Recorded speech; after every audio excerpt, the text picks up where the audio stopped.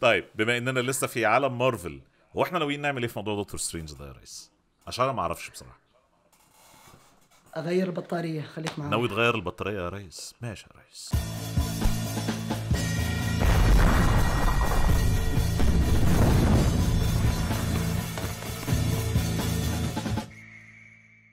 السلام عليكم ورحمة الله وبركاته. أهلا وسهلا بيكم في الحلقة ال11 من حلقات حصاد الحبة اللي فاتوا.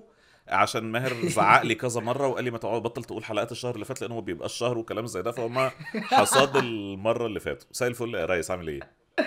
حبيبي إزيك؟ إحنا باقي لنا شهر تقريبا ونكمل سنة يا محمود. أوه إن أوه شاء الله يعني من من أكثر لأكثر. كيف؟ قدام الناس حسالك السؤال ده كده. هاو كيف تقييمك لل للي شايفه للآن. أعطينا ريفيو على حصاد الشهر من منظورك ال 11 شهر اللي فاتوا اي لاف ات أنا ما أنا قلت الموضوع ده قبل كده وهكرره تاني للي ما سمعوش قبل كده. آه، ماهر اقترح الفكرة دي. والتعاون ده وحاجات تانية عملناها كمان ساعة لما هو كلمني علشان نعمل الفكرة ديت. في فترة أنا كنت خلاص بسيب. بجد والله يا جماعة مش مش عايز أقعد أبالغ وكلام زي ده. كنت فكيت إيدي قوي يعني وما كنتش عارف ناوي أعمل إيه وكلام زي ده. فالحلقات بتاعة الحصاد بالنسبة لي آه، فرصة إن أنا ألتقي بصديق عزيز أنا بحبه جدا وبحترم رأيه جدا. فرصة إن إحنا نتكلم في حاجات آه، في العادي ما بتجيلناش فرصة إن إحنا نتكلم فيها.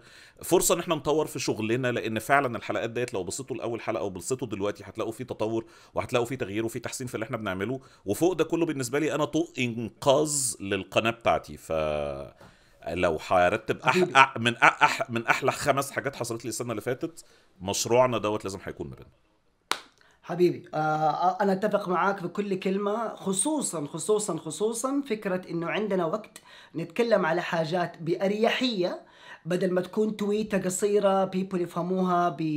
مو بالمفهوم الكامل أو بدل ما تكون آه سنابات أنا ماني من النوع اللي أعمل سنابات أو ستوريز مطولة.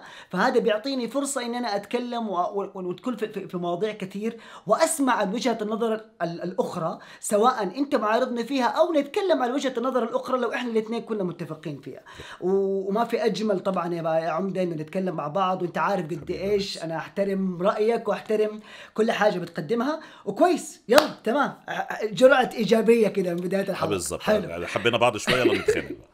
آه، أول حاجة يا ريس طلعت على تويتر وقلت مفيش غير أفلام مصرية عندنا في السينما. قصدك إيه بأفلام مصرية عندنا في السينما؟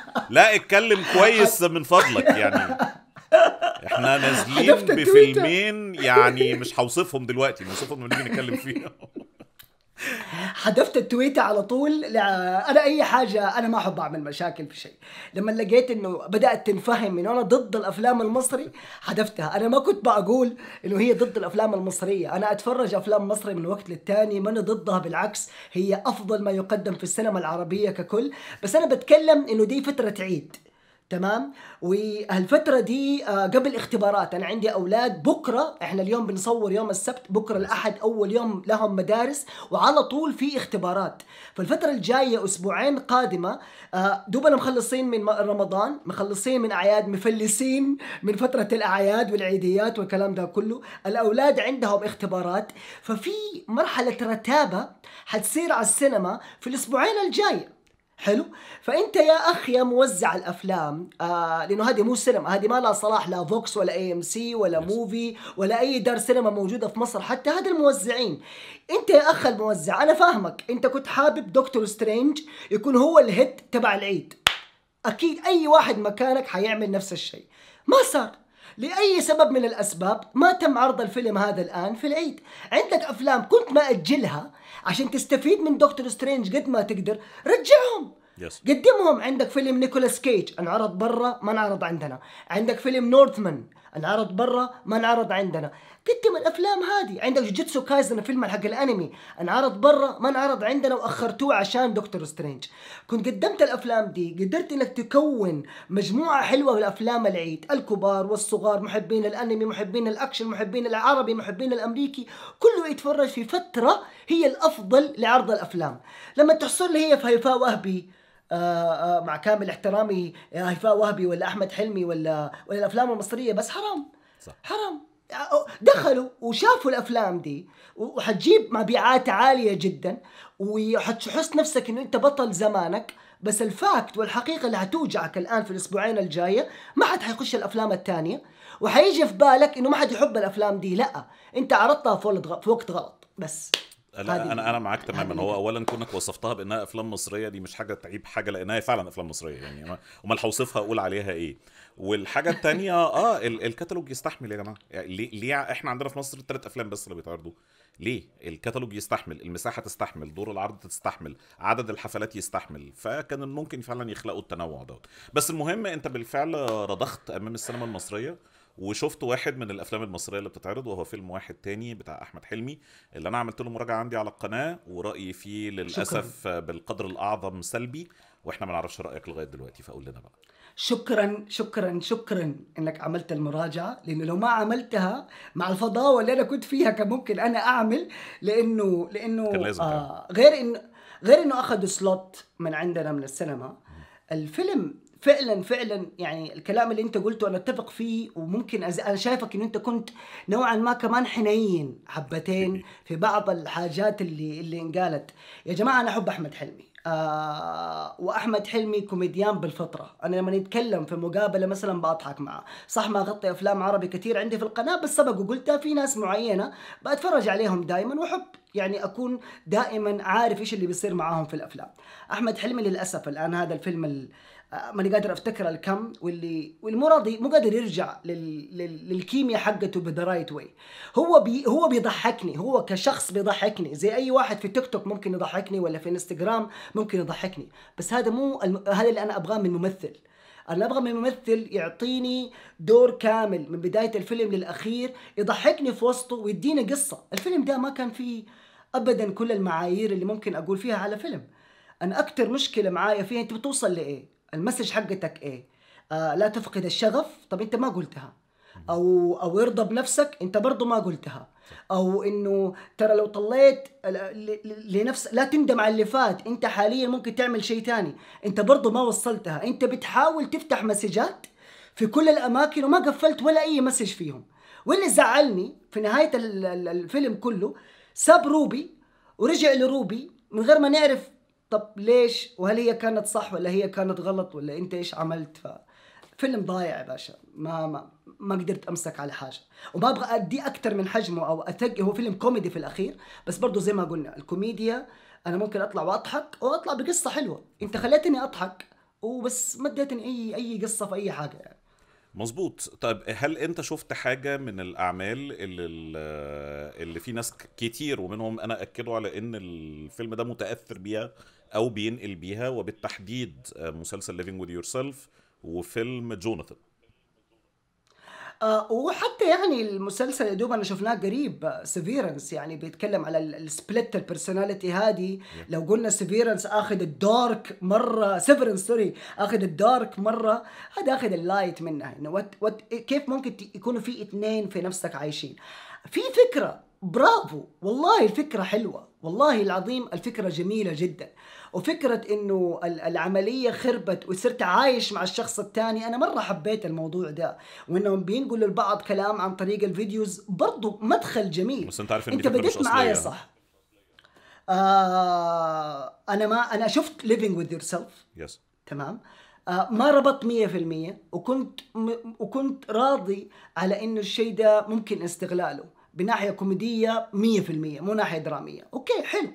بس ما قدروا أخذوا الفكرة وفي الأخير حتى الناحية الكوميدية ما قدر يعطيني قصة و arc كامل من الناحية الكوميدية لقصة حتى لو ما كانت original أنا هذا هذه المشكلة. حت حتة الشخصيتين اللي فاصلين اليوم ما بينهم وما بين بعض وبيسيبوا لبعض رسائل في شكل فيديوهات وعلاقتهم بتتطور من إنهم بيتخاصموا مع بعض وبيتصالحوا مع بعض وبيغضبوا على بعض وبيوصلوا للنتيجه إن لازم واحد فيهم يكمل والتاني يتوقف. دي كلها في فيلم جوناثان. بتاع آه ما شفت جوناثان. بتاع انزل الجورت اللي هنتكلم عنه كمان شوية المسلسل مهم جدا okay. موجود عنده. فده ده ده ضايقني. أنا ما كنتش أعرف موضوع جوناثان دوت لغاية لما حد لفت نظري ليه. ما شفتش الفيلم بس دخلت قريت ال premise بتاعه بالكامل. لا إحنا اللي عملناه إن إحنا خدنا شوية فعلا من Living with Yourself على شوية من ده مع شوية نكات كلها بتجمع نفس الطابع إنها آه، قايمة على التلميحات الجنسية. آه، أنا حضرت السينما في, في سينما زحمة فيها عائلات 2002 كتير قوي. إحنا إحنا كانوش مرتاحين. 2022 يا جماعة. إحنا 2022 يا جماعة. والله العظيم 2022 الستايل ده يفكرني بداية الألفية.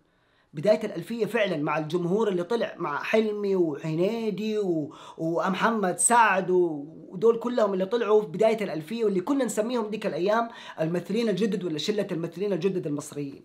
انت بترجعنا الأول يعني وللأسف هذا الترند اللي صاير في الأفلام المصرية على الأقل بتنشهر في السعودية عندنا واللي أنا اتفرجت عليها واللي ضحكت عليها برضو بس برضو بتعتمد اعتماد كبير يا سواء تلميحات أو يعني plus 18 which is okay okay إذا هو كان plus 18 بس الفيلم ده ما كان plus 18 الفيلم ده ما كان للعمر العالي زي أنت ما قلت الفيلم ده كان عائلي. فهذه هذه هذه واحدة من المشاكل القوية واللي طول الفيلم شغال عليها. لا و- ويرجع يشتغل على نفس الافيه يعني على نفس ال... على نفس الحاجة. وانت أظن قلتها في المراجعة على نفس ال... على نفس الشيء بيعيد ويزيد فيه. على نفس الفكرة بتاعت سوء. التفاهم ما بين الشخصيات وكلام زي ده. في المشهد اللي جمعه مع عمرو وهبة اللي هو الراجل بتاع البنك ده هو عمال يقول له أنا عاوز أعاين ال- إحنا بنتكلم شوية شوية حرق خلاص أغلبية الناس شافت الفيلم يعني. أيوه. آه عايز أعاين المكان عايز أصوره عايز أشوفه عايز كلام زي ده. وأحمد حلمي بيتجاوب مع النكتة مش على إنه فاهم لا على إن التلميح ده بيحرجه أو بيضايقه أو إنه ما ينفعش وكلام زي ده. ال- النكتة دي يا جماعة تصلح فقط لو في طرف فاهم وطرف مش فاهم. لكن لو آه، تعكس الآية اللي مش فاهم هو اللي بيلقي الإفيه واللي مفروض إن هو مش فاهم هو فاهم كل حاجة. وإحنا عارفين إنه عارف كل حاجة. فأنت سيء النكته على أي أساس؟ مش مفهوم خالص. صح. وبعدين مكررة جدا بعد ما لعبتها واضحه أول مرة. واضحه واضحة كده بالطريقة دي. معلش أشرح للجمهور. أنت اليوم لما تصور السين وفي اثنين بيتكلموا إحنا بنعتبر جدلا إن دول الاثنين الوحيدين اللي عايشين. إحنا بنتفرج ما حد الممثل طبعا ما بيمثل لينا هو بيمثل حاجة مشهد واقعي. اللي سواه حلمي كأنه بيلف لو لف واتكلم معانا كان عمل breaking the wall أو اتكلم مع الب- البعد الرابع وكان وصلت النكتة أحلى. لأنه واضح انه هو بيتكلم مع ناس فاهمين زيه اللي صاير وليش ما ينفع إنه يتكلم. لكن طالما انه هو بس بيتكلم مع الشخص اللي قدامه زي ما بيقول مهدي ما له معنى. الإفيه ما له معنى مجرد اعتباط في الحوار بس. زرعنا حاجات كتير قوي ما تمش استخدامها. قعدنا فترة طويلة في بداية الفيلم بنقول آه، ما تحطش التليفون اللي الجيب يحطه في جيبه وبعدين ما تعملش بيها أي أنا مستني. وعاد قالها مرتين. ها خالص. قالها yes، yes. مرتين آه. ما ينفعش يا جماعة. سينمائيا ما ينفعش تزرع حاجة زي كده وما ترجعش ما ترجعلهاش تاني خالص.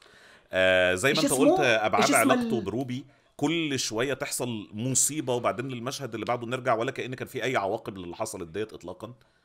آه، لا أنا ما أنا ما مش مش مش مش مبسوط. مش مبسوط سينمائيا. يعني ال- الفكرة فكرة الأمور السبجكتيف دايما بنقول ضحكت ما ضحكتش انبسطت ما انبسطتش آه، ده شيء عادي كل الناس ممكن تختلف فيه ولكن إن إحنا نبص على الغلط ونقول عليه صح لأن المرة دي العملية مش عملية عيب أو مشكلة أو بتاع ما أعرفش مين إحنا شفنا حاجات غلط ونعديها صح. زي ما تكون مش أي حاجة ده ابتدى يقلقني على ال- على استقبال الناس. الناس بعد ما طبعت قوي مع المستوى بتاع مسلسلات رمضان وبعد كده دخلت على هذه الطبيعة من الأفلام أصبح هو ده العادي أصبح تقبل الأخطاء شيء عادي بالنسبة للسينما بتاعتنا. وده شيء قلقني بصراحة على مستقبل آه، ذوق الناس أو طريقة استقبال الناس للأعمال الدرامية. ولا ويا جماعة عارفين يعني عشان أنا متأكد إنه في ردود فعل حتصير يا ماهر يا مهدي بتناقشوا فيلم كأنه فيلم دراما وكأنه حبكة ومدري إيه هذا مجرد فيلم كوميدي. أنا معاكم هو مجرد فيلم كوميدي. بس اللي بنحاول نقوله الآن جزء من الثقافة السينمائية هو إنك تعرف القالب اللي بتقدمه وتتكلم على اساسه، okay إحنا بناخده من باب الكوميدي. بس القصة نفسها أنت عملت أشياء خاطئة في زراعة القصة زي ما قال محمود ما لها معنى. آه في في مسمى يا محمود ناسيه اللي اسمه سلاح تشيخوف gun تشيخوف أو حاجة آه اللي هو لما لما لما يكون في أي حوار أو في نص أو في رواية اثنين بيتكلموا بيوصفوا حاجة معينة تمام؟ زي مثلا أنت في رواية الآن وفي بدايه أول صفحتين في الرواية بيوصف لك مسدس أو أو rifle معلق في مكان في الغرفة تمام؟ وبيوصفه وقد إيش قوته وممكن يقتل ولا ما يقتل كلها تفاصيل تمام؟ بيديها للمشاهد. ال expectation التوقعات للقارئ إنه لازم هذا المسدس. تستخدمه قدام. في أي يوم يمكن نهاية القصة وهنا يجي التويست الحلو كيف بتبني تمام؟ وإذا ما تم استخدامه ضيعت وقتي في وصف شيء على الفاضي وصف شيء دقيق انت مو مجرد قلت دخلت ولقيت مسدس على الحيطة انت اديتني تفاصيل. نفس الشيء اللي قالوا على موضوع لما حط الجوال في جيبه وانتبهوا قالوها مرتين. نفس الشيء انه في بنت صغيرة آه لطيفة حلوة كانت موجودة معاهم في المكتب وبتحاول تكون علاقة مع الشخص الثاني اللي هو الحقيقي النسخة الحقيقية. لما أجي ألاقي بعدين ان النسخة الحقيقية والنسخة المطوره من الشخصية كلهم صاروا أوكي مع روبي فين راحت البنت دي؟ طب ليه كل المشاهد الرومانسية راحت على الفاضي؟ ليه كل المشاهد اللي بتحاول تقول له إنه أنا قابلة بيك زي ما أنت و و و هو حمسها وبيع الشنط ومدري إيه. طب فين؟ ما كانت علاقة أفلاطونية كان واضح في إعجاب. تمام؟ طب ليه وريتني الإحساس ده إذا في الأخير خليت إنه الاثنين يرضوا بروبي؟ ليش وريتني آآ آآ روبي جات وقالت له أطلع من عندي وصارت تضربه بالشبشب وروح وإنه خلاص أنا ما باك وأنا بايعاك إيش اللي خلاه إيش اللي خلاهم يرجعوا لبعض بعدين مرة ثانية فإحنا ما بنتكلم على على على على على إنه حبكة ودراما بس في حاجات أساسيات في الكتابة ما ما كانت موجودة. وفي نقطتين مهمين جدا على فكرة تقييم العمل من المنظور الكوميدي أو منظور الفيلم لأن هو هو مش كوميدي بس هو اسمه فيلم كوميدي. فأنا أنا مش داخل أتفرج على سكتش أنا داخل أتفرج على فيلم. فلازم تقيم النقطة بتاعت الفيلم. والجملة اللي كل الناس عمالة تتكلم فيها وهي جملة في محلها تماما سؤال ما إذا كان أحمد حلمي رجع ولا لأ؟ رجع لإيه؟ طب ما هو فكرة رجع ديت لازم نسأل رجع لإيه؟ رجع لأيام الأفلام الحلوة اللي إحنا بنحبها اللي تطور على عدد كبير من السنين من أيام ما كان شاب بيمثل الطموح بتاع شباب كتير جدا لغاية لما بقى رجل وعمل عدد من الأفلام الكويسة في المرحلة دي كذلك. الأفلام دي كانت كوميدية بتضحك جدا جدا جدا ومتماسكة. اللي مطلوب مننا إننا نتغاضى عنه لصالح الكوميديا قليل جدا مش كتير. موجود بس مش كتير. المرة دي أنت بتطلب عني أتغاضى عن حاجات عملاقة لصالح الكوميديا. على فكرة موافق ما عنديش مشكلة. بس زي ما أنا قلت في المراجعة أنت كده كتبت فاتورة كبيرة. تقدر تقدر توفيها تقدر تدفعها. تقدر تضحكني بلا انقطاع. تقدر تقدم لي تنوع في الكوميديا. تقدر تقدم حاجة ذكية حاجة مختلفة. أنا شايف إنه في أغلب الأوقات حتى على مستوى الكوميديا أقل من المتوسط العام بتاع أفلام أحمد حلمي بحبة حلوين مش بحبة قليلين. وبعدين النقطة برضو الإضافية اللي ضايقتني جدا جوه الفيلم ال brand placement وال product placement طريقة الإعلان للحاجات اللي موجودة والكلام ده. أنا ما رضيتش أوصفها ساعة المراجعة بس دي ما تسمى بال shameless يا جماعة. يعني دي حاجة ممكن أن توصف بالوقاحة إنك تحط إعلانات بهذا الشكل الفج جوه جوه الفيلم. آه وهي ترى by the يعني موضوع ال product placement كل الناس بتعمله كل أحد بيسويه. بس هنا الذكاء يجي كيف تستخدمه بأي طريقة. أنا ما أعرف ليش عندنا في المنطقة مو بس شفتها في الفيلم يعني حق أحمد حلمي حتى عندنا في بعض المسلسلات اللي بنشوفها. ما أعرف مؤخرا إيش صاير فيها بس جات فترة يا راجل كده يحط لك إياه قدامك. يعني عارف يعني حتى في مرة من المرات اللي تكلمت مع أحد البراندات كانوا حابين يعملوا placement معايا. ما ما ما وصلنا له في الأخير يا مهدي. كانوا يبغوا placement وأنا بتكلم إنه يطلع بطريقة ما. عندنا التفكير حق ال brand managers اللي موجودين هنا ولا مدراء التسويق أو والدعاية اللي موجودين لا فكرتهم بال placement إنه لازم يكون طالع كل المشاهد ولازم يكون أخرج عين المشاهد وهو شايفها. خمس ست ثواني متواصلة. تعمل focus على ال product وتسيب ال characters يا إلهي. يا إلهي. عموما آه آخر حاجة بقولها في الفيلم آه أنا وهذا اللي أعترض معاك فيه جدا. آه أنا أنا أنا أنا أحب روبي كمغنية كبنت ظريفة كده وخفيفة. الله يخليك لا تمثلي.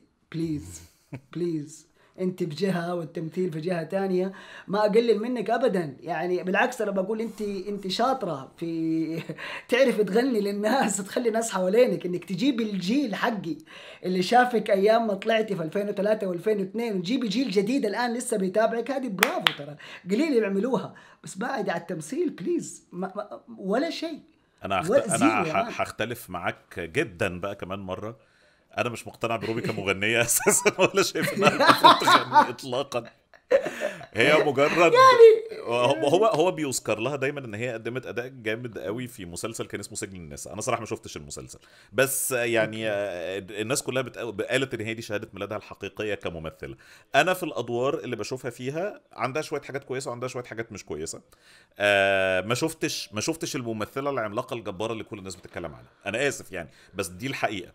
في الفيلم ده بالتحديد أنا شايف كان دمها خفيف. يعني من المشاهد الكوميدية اللي نجحت معايا مشهد في الآخر لما فاض بيها الكيل زي ما ماهر قال ورفعت عليه الشبشب ور- ورقعت بالصوت لما اتخنقت. ده كان تعبير صراحة جسدني. يعني أنا حسيت إنها قدمت حاجة تمثلني وإحساسي تجاه الشخصيتين دول. عموما الف... الربع الأخير من الفيلم كان أفضل ربع فيه والستانت الإخراجي في الانتقال السريع ما بين الشخصيتين وتفاصيلهم كان حلو وأحمد حلمي قدم فيهم أداء حلو عشان كده أنا ب... بقول الفيلم أحبطني بشكل كبير قوي في حاجات كتير قوي ولكن ده لا ينفي إن هو كان فيه حاجات كويسة. آه بس آه أنا أشارك مع ماهر إحساسه بإنها تمثيليا ما قدمتش ما يقدم لها أو يخليها تترسخ عندنا كممثلة كويسة أو جامدة أو كبيرة أو كلام زي ده هو بيقول إنها مغنية كويسة أنا حتى دي بشكك فيها. المشكلة الأساسية وهذا يصب ليش أنا جبت السيرة الله مو عشان بس أتكلم على ال- ال- الآدمية بالعكس يعني ومعليش إذا إذا طلع مني الكلام إني بحقر منها لا أنا ما أبغى أوصل للمنطقة دي ابدا أنا مالي في في المجال التمثيلي المصري عموما بس هذا حسسني إنه الفيلم ما في أحد غير حلمي.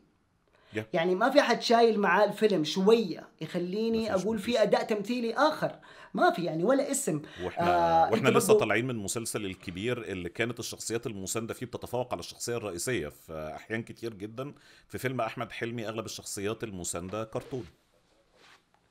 قل لي على الكبير أنا شفت أول موسم زمان زمان يعني زمان مرة. آه صراحة ما ما شفت بعدها. الأجزاء كلها بس واضح إنه عامل ضجة كبيرة عند المجتمع المصري. عندي أصحاب كثير آه وشايفهم الإفيهات حقتهم الصور اللي بيحطوها مدري إيه كلها جاية من المسلسل. Yes. هل نقول إنه أنجح مسلسل نوعا ما كان في رمضان اللي فات؟ على شعبية في مصر؟ اتصور يعني طبعا دي حاجة عمرها ما هتتحسب بس أنا تابعت قنوات ال- الريفيورز أصدقائي اللي اشتغلوا مسلسلات رمضان. المشاهدات اللي جات لهم على حلقات الكبيرة أعلى من أي حاجة تانية. وده المقياس الوحيد اللي أنا ممكن أثق فيه شوية. بعيدا عن تقرير مؤسسة ما أعرفش مين وتقرير جورنان ما أعرفش مين وال... إحنا عندنا لو مشيت وراهم هو كل مسلسلات مصر رقم واحد. مفيش ولا واحد رقم اتنين. آه، فسيبك من الكلام ده. أنا قلت المقياس اللي بقول على أساسه إن فعلا الكبير هو المسلسل الأنجح. ومستحق جدا. لازم تتفرج عليه يا ماهر. لازم لازم لازم. وشيل من دماغك فكرة إن أنت فوتت مواسم كتير روح على السادس على طول مش فارقة خالص خالص يعني. آه أوكي آه، المسلسل أنا عشان- منقسم من جوه القصص صغيره بعضها نار نار بجد يعني. ضحك ضحك لدرجة إنك تعمل pause علشان تكمل ضحك وبعدين ترجع تكمل فرجة. وفي حاجات تانية نص نص مفيش حاجة سيئة خالص. آه، قدم ممثلين جداد آه، مش ممكن مش ممكن يعني إن إحنا نكتشف في موسم واحد ثلاث أو أربع ممثلين بهذه القوة ونرجع أفراد الحرس القديم في ثوب جديد وأحمد مكي شخصيا قدم إنعاش زي ما يكون خد وش polish على شخصية الكبير بالتحديد شخصية العمدة. آه، خلاه لمع بشكل كبير قوي. آه لا لا لا, لا. آه آه، المسلسل اللي made my رمضان يعني. أنا ليش ليش ليش مركز معاه؟ لأنه أنا أحب مكي مرة. يعني أحمد مكي بالنسبة لي أنا أسمع راب مرة كثير وحتى الراب العربي. السعودي المصري وغيره. أسمع أسمع دائما دائما دائما. مكي بالنسبة لي يمكن هو أفضل آه رابر آه عربي على مستوى العام على الأداء على الرتم على الكلمات على قطر الحياة الين قريب وأنا أسمعها يعني تعجبني مرة كثير. فال أنا أنا يلهمني قد إيش إن الراجل ده متعدد المواهب. يلهمني الشيء هذا. بس آه ما شفت له أنت عارف أنا عرفت مكي متى عرفته في راجل وست ستات ما كانش راجل، وست. ستات كان تامر وشوقية إيش لا يا شيخ راجل وست ستات لا يا كمان. عم ده راجل وست ستات ما كانش فيه مكي كان فيه سامح حسين آه تامر وشوقية آه اللي كان؟ فيه مكي اللي كان طالع H دبور الشخصية ال hip ال- بالشعر الكبير أيوه والكلام أيوه. أيوه أيوه صح، لما صح، وقف صح، لما وقف. في المحكمة وقعد يصرخ يصرخ عاشت مصر cool ومستقل ومستقلة صح، صح. wow لا لا صح صح أنا صح، كلنا. عرفناه منه. وطلع بقى وطلع بعدين مع عادل إمام في مرجان أحمد مرجان. آه صح. Yeah. تمام. طيب نطلع من نطلع من الأفلام أو الفيلم المصري اللي تفرجنا عليه أنا وأنت Yes. في الفترة اللي فاتت. إيش في فيلم تاني؟ آه، لا سي- سيبك. إيه؟ حط الفيلم ده التاني على جنب شوية. إحنا بعد كده عندنا آه، سلسلة من المسلسلات. وانت أنت وصفت ال- الحقبة اللي فاتت الفترة اللي فاتت الشوية اللي فاتت بما إن ده حصاد الشوية اللي فاتت زي ما اتفقنا بالوصف السليم جدا دول شوية مسلسلات. لأن يا. إحنا نزل علينا فيضان مسلسلات حقيقي كلها كويسة حقيقي كلها متميزة وحقيقي كلها متنوعة. أنا أنت صحيح. شفت منهم يجي 45 مسلسل حاجة بالطريقة دي؟ اللي هو أقل من المتوسط بتاعك أنا ما أعرفش أنت مش فورمة ليه مؤخرا. أنا طبعا على على قد إمكانياتي شفت أربعة. كويس. بالنسبة لي كويس يعني. آه نبتدي بإيه؟ تعال نبتدي ب The Offer لأنه في تقديري الشخصي الألطف. المسلسل الالطف ما بين كل المسلسلات اللي اتعرضت في الفترة الأخيرة. تتفق معايا ولا لا؟ هو أنا يعني The Offer فكرة المسلسل نفسه مجنونة. إنك تعمل مسلسل عن كيفية إنتاج فيلم اولا يبين لك مدى عظمة الفيلم. يعني, يعني إنه إنه إنه في ناس عندهم الفضول إنه يقعد ويتفرج مسلسل ممكن يصير مواسم ممكن لأ. كل حلقة بساعة تقريبا على العملية الإنتاجية لفيلم. ومو كل العمليات الإنتاجية يعني بتكون بهذه الإثارة عشان يكون أصلا لها لها مسلسل كامل. بس أنا أقدر أجزم لكل الناس اللي لسه ما شاف المسلسل ان العملية الإنتاجية ل The Godfather من أجمل العمليات الإنتاجية اللي ممكن تتفرج عليها. ليه ليه يا محمود؟ أنا قريت كتاب كامل قريب على على الموضوع موجود في تطبيق Storytel اللي هو take the cannoli leave the gun and take the cannoli أيوه هذا مشهد من الفيلم وسمى عليه الكتاب بالكامل وقريته دوبي. يا الله. فأنا قاعد أتفرج على حاجة قريتها. يعني فأقدر أقول لكم إنكم مقبلين على وجبة درامية كوميدية آه رائعة رائعة معقدة. وتبين لك الأساس اللي ممكن الناس كلها تشوفه واللي أنا مفتقده اليوم رؤية المخرج. قد إيش رؤية المخرج مهمة؟ يس. لو تم سلب رؤية المخرج منه لا تت... المخرج في الأخير ما حيصير عنده دور غير إنه يعني اسمه ينكتب على الأفيش. هي الرؤية لو موجودة حيطلع عندنا فيلم. مهما كانت الأسماء مهما كانت شيء. فهذا أهم حاجة كان في الفيلم بالكامل صراحة. وفي عوامل كانت كثير ساعدت بس يمكن هذا أهم حاجة كانت موجودة. وإلى الآن الحلقات متميزة كويسة. يمكن مو اللي تخيلته في دماغي وأنا. بقرأ الكتاب صراحة بكل أمانة. بس آه okay.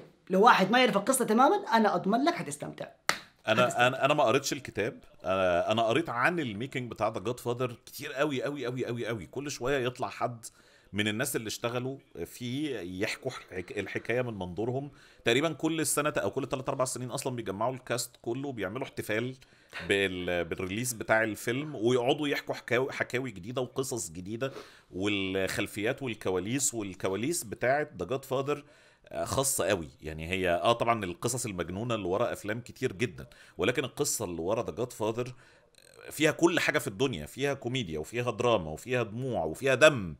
وفيها عنف وفيها تهديد وفيها قلق وفيها خيانة وفيها رومانسية وفيها كل حاجة ممكن نتخيلها. وأقل واحد في الدنيا يعرف حاجة عن The Godfather كل شوية وهو بيتفرج على المسلسل ده. المسلسل ده لغاية دلوقتي اتعرض منه أربع حلقات. هتلاقيه بيشاور بإيده يقول لك أيوه أيوه أيوه دي المرة اللي مارلون براندو عمل فيها ما أعرفش إيه. أيوه أيوه أيوه دي المرة اللي الراجل بتاع المافيا عمل فيها ما أعرفش إيه. أنت أكيد تعرف حاجة وأكيد هتلاقي المسلسل دوت بيتعامل معاها. زي ما ماهر قال ساعات بالطريقة اللي ترضيك وساعات مش بالطريقة اللي ترضيك. لأن في ال- المسلسل بيحاول دايما ياخد المنهج الخفيف. هو بيحاول يقدم عمل ممتع وحقيقي العمل ممتع جميل جدا. ومش قصدي إن أنا أقول إن هو عمل هايف أو عبيط أو حاجة بالطريقة ديت. في. أوقات كتير الدراما اللي فيه بتكون دراما حقيقية تصميم الشخصية اللي هي بطلنا أصلا هو منتج الفيلم. آه وأداء مايلز تيلر ومايلز مايلز تيلر من الممثلين اللي أنا بحبهم بتاع Whiplash آه الولد حلو حلو قوي عامل عامل الشخصيه جميلة جدا والانتقال ما بين الجدية والكوميديا عنده من أروع ما يمكن. آه وبيعلمنا حاجة مهمة جدا لكل الناس اللي مهتمة بالسينما وما بتشتغلش جواها زينا كده إن الفيلم ده ممكن يك... المسلسل ده أنا آسف ممكن يكون أكتر مسلسل يعرفك إيه هو دور المنتج. وإيه. هي الحاجات اللي بيقابلها يوميا لأن إحنا دايما عندنا مفهوم في العالم العربي إن المنتج ده هو الفلوس هو الراجل اللي طلع الفلوس. طبعا ده مفهوم مشوه تماما ده مش حقيقي. إحنا عندنا في أغلب الأحيان بيبقى كده وممكن ياخد التايتل دوت لو ليه بعض الإضافات ال- الابتكارية أو الإبداعية أو التنظيمية أو الإدارية حتى. الفيلم ده بيقدم ده وبيقدمه بشكل عملي قوي قوي قوي غير إنك تقراه في كتاب أو تشوفه في article أو في كلام زي ده. آه المسلسل أنا كل شوية أقول عليه فيلم لأن هو بيحكي عن فيلم. آه بس إيه رأيك إيه رأيك في الممثلين اللي عملوا أدوار الممثلين؟ إحنا شفنا لغاية دلوقتي الباتشينو ومارلون براندو. إيه رأيك في الاثنين ممثلين؟ آه يا أخي صعب صعب صعب. يعني مهما ك... يعني مو ممثلين. أنا شفت ممثل شفت مسلسل تاني اسمه Super Pumped بيتكلم على عالم الشركات. جابوا لي تيم كوك اللي هو رئيس أبل وال... والرئيس التنفيذي حق التكنولوجيا عندهم. أنا ما قدرت أتقبلهم لأن أنا عايش معاهم الآن وشايفهم. فنفس الشيء صاير معايا مع الباتشينو مع مع براندو. لأنه حاسس آخذ الطابع اللي أنا صرت عارفه عن الممثل أكثر من إنه إذا الممثل بدأ من الصفر كيف كان ممكن يكون بالذات الباتشينو okay. يعني هل الباتشينو نظرتي لي الآن الباتشينو والقامة الكبيرة اللزمات اللي عنده في الكلام اللزمات اللي عنده في الحركة. هل هذه الأشياء كانت موجودة من هو عمره في العشرين ولا صارت معاه دحين بعد ما كبر وبعد ما شفت له أفلام كثير وركزت إنه أشياء دي ياما طلعت؟ حاسة ماخذين اللزمات دي اللي ما طلعت إلا بعد سنين وحطوها في واحد عمره 20 تقريبا أو شيء. بس بشكل عام بحاول ما أركز مع الموضوع ده بشكل كبير لأنه الفيلم مش عليهم. هم جزء لا يتجزأ من عملية إنتاجية معقدة زي أنت ما قلت. و... و... وإلى الآن حلو. إلى الآن حلو. أنا بس أبغى أرجع أعيد على نقطة هذه من المسلسلات يا جماعة. اللي حلو تشوفها مو عشان تستمتع بس تثقيفيا حتزيد من ثقافتك السينمائية لمعرفة الأدوار داخل العجلة الإنتاجية. إيش دور الاستوديو إيش دور المخرج؟ إيش دور المنتج؟ إيش دور ال maker؟ إيش دور حق ال make up؟ لأنهم بيخشوا في التفاصيل هذه لأنه تخيل كل دي التفاصيل أدت لعملية ال casting director وحيخ... وال casting دا وال casting director وإيش دور المكملات لهوليوود بالذات أيام زمان. كيف إنه المسرح كان يعتبر مغذي للمواهب الجديدة وكيف كانوا يروحوا ويتفرجوا على المسرح ده عشان يطلعوا مواهب جديدة. كيف متى ال ال ال النجم حق ال يعني الممثل يصير قدير واسم كبير صح؟ Yes. بس كيف ممكن يوصل لدرجة إنه ما حد بيقرب منه؟ لا لا هذا مستحيل أشتغل معاه مرة ثانية إيش اللي وصل الممثل لهذه المرحلة؟ كل هذه الأمور جميل جدا تتفرج على على المسلسل ده تتعلم منه واللي أنا أقدر أقول أجزاء كبيرة ما زالت مستمرة معانا إلى اليوم. فالفيلم المسلسل ليس مجرد بيتكلم على فيلم ذا فاذر حتى لو ما عجبك ذا فاذر حتطلع منها بثقافة جميلة جدا على المستوى السينمائي والعملية الإنتاجية ككل. والناس اللي معانا يا جماعة في الحلقات يعني الناس اللي شافوا معانا أربع حلقات لغاية دلوقتي وما يعرفوش العملية الإنتاجية والتفاصيل بتاعة The Godfather لو أخلصوا للي حصل بعد كده أثناء عملية التصوير والصعوبات اللي واجهوها وبالتحديد مع مارلون براندو فإحنا مقبلين على ملاهي مقبلين على roller coaster من الحاجات اللي مستحيل الناس تصدق إنها حصلت يعني ال- ال- الناس. ممكن تتخيل إن الصعوبات بتاعه آه، عملية صناعة The Godfather انتهت كده دي لسه هتبتدي. لأن اللي شافوا اللي شافوا كوبولا من مارلون براندو في الفيلم ده على قد ما هم كلهم حكوا ما فيش بني آدم يستحمله يعني. واتمنى يدخلوا آه، روبرت دينيرو على الخط في مرحلة ما لأن هم ابتدوا يلمسوا معاه. أنا أنا بس حابب أقول للناس شغلتين مهمة. واحد الفيلم Godfather نفتكر مع بعض له 50 سنة تمام؟ 50 سنة نجاح مستمر. يمكن الفيلم الوحيد في السينما الآن اللي 50 سنة ومو بس الكبار في السن يحبوه مو بس النقاد اللي يحبوه حتى الشباب اللي بيطلعوا ويشوفوا الفيلم بيقدروا المدى العظمة الموجوده للفيلم. فتخيل فيلم عظيم للدرجه دي كم قصة قيلت عنه. ففي أشياء كثير آه بعد ال- التحقيق فيها طلع كلام فاضي وكلام هجص أنا I want to see في الفيلم ده بشوف المسلسل لأي درجة كانوا صادقين مع الحقائق ومع الأشياء اللي تم تزييفها بكل أمانة. الشيء الثالث المسلسل ككل من إنتاج باراماونت باراماونت هم نفسهم اللي. أنتجوا فيلم آه، اللي عملوا ذا جاد فاذر فهنا برضو أبغى أشوف حيبينوا لأي درجة الاستوديو كان مهوي. أنا أقول لكم الاستوديو كان مهوي. يعني لولا وجود رؤية ولولا المضاربات اللي صارت ولولا عوامل كتير ما بحرق عليكم القصة الاستديو كان حيطلع لنا فيلم ولا كان حيعيش خمسة أشهر مو خمسين سنة. آه بس أنا مطمن لدي لأن أنا كنت خايف من دي بصراحة وبالذات في أول حلقة لأن أول حلقة اللوم الذات أو جلد الذات كان قليل قوي. بس بعد كده بقى مرة. موجود يعني بعد كده تواجد. الهرم الإداري اللي فوق المنتج بتاعنا الاختلافات اللي ما بينهم وما بين بعض طبيعتهم إن في واحد فيهم كان عايش في دور الدونجوان وكل يوم مع واحدة وكلام زي ده. آه لا ابتدوا ابتدوا يحاولوا يوزنوا الدنيا شوية. إحنا عملنا الفيلم ده وزي ما ماهر كان بيقول كنا مليانين مشاكل وكنا مليانين عك. وكان عندنا تضاربات كتيرة وكان عندنا لخبطة كتيرة وكان عندنا ارتباك كتير. فده اللي حتى خلاني أقبل على المسلسل أكتر وأكتر. أنا حاليا بتفرج على أربع مسلسلات هنعدي على الثلاثه التانيين كمان شوية. لما بلاقي حلقة جديدة من The Offer وهو مش أفضل واحد من الأربع مسلسلات اللي بشوفها بفضي نفسي اقعد أتفرج عليه لأنه بجد هو الأمتع. والأسهل الأسهل والاسهل والأسهل. الأسهل. تتفرج ما يبغى له مود إنك تقعد تتفرج عليه. في أي وقت ممكن أتفرج وأخش عليه بسرعة. آه أنا بس مشكلتي آه محمود مو مشكله هي ما هي مشكلة. اللي ما يعرف القصة عادي معاه. بس اللي يعرف حينتبه لها. مارك ما بوزو ماريو بوزو الكاتب حق ال- حق القصة. دخلوا على طول مع ماريو انه صار ناجح وإنه الكتاب ناجح وبدأوا على طول في الإنتاج. ال- الجمالية كانت إنه كيف ماريو بوزو ده أصلا كان نكرة. كان هم شيء. حاولوا يشاوروا عليها بس ما طولوش فيها. ابدا ابدا. وكيف إنه الشخصيات اللي في في في الفيلم مستلهمة من شخصيات حقيقية هو عاش معاهم يعني. Yes. مارلون براندون نفسه آه مايكل ديكوليون بيتكلم كلمات كثير سمعها من أمه آه Yes. أمه الإيطالية.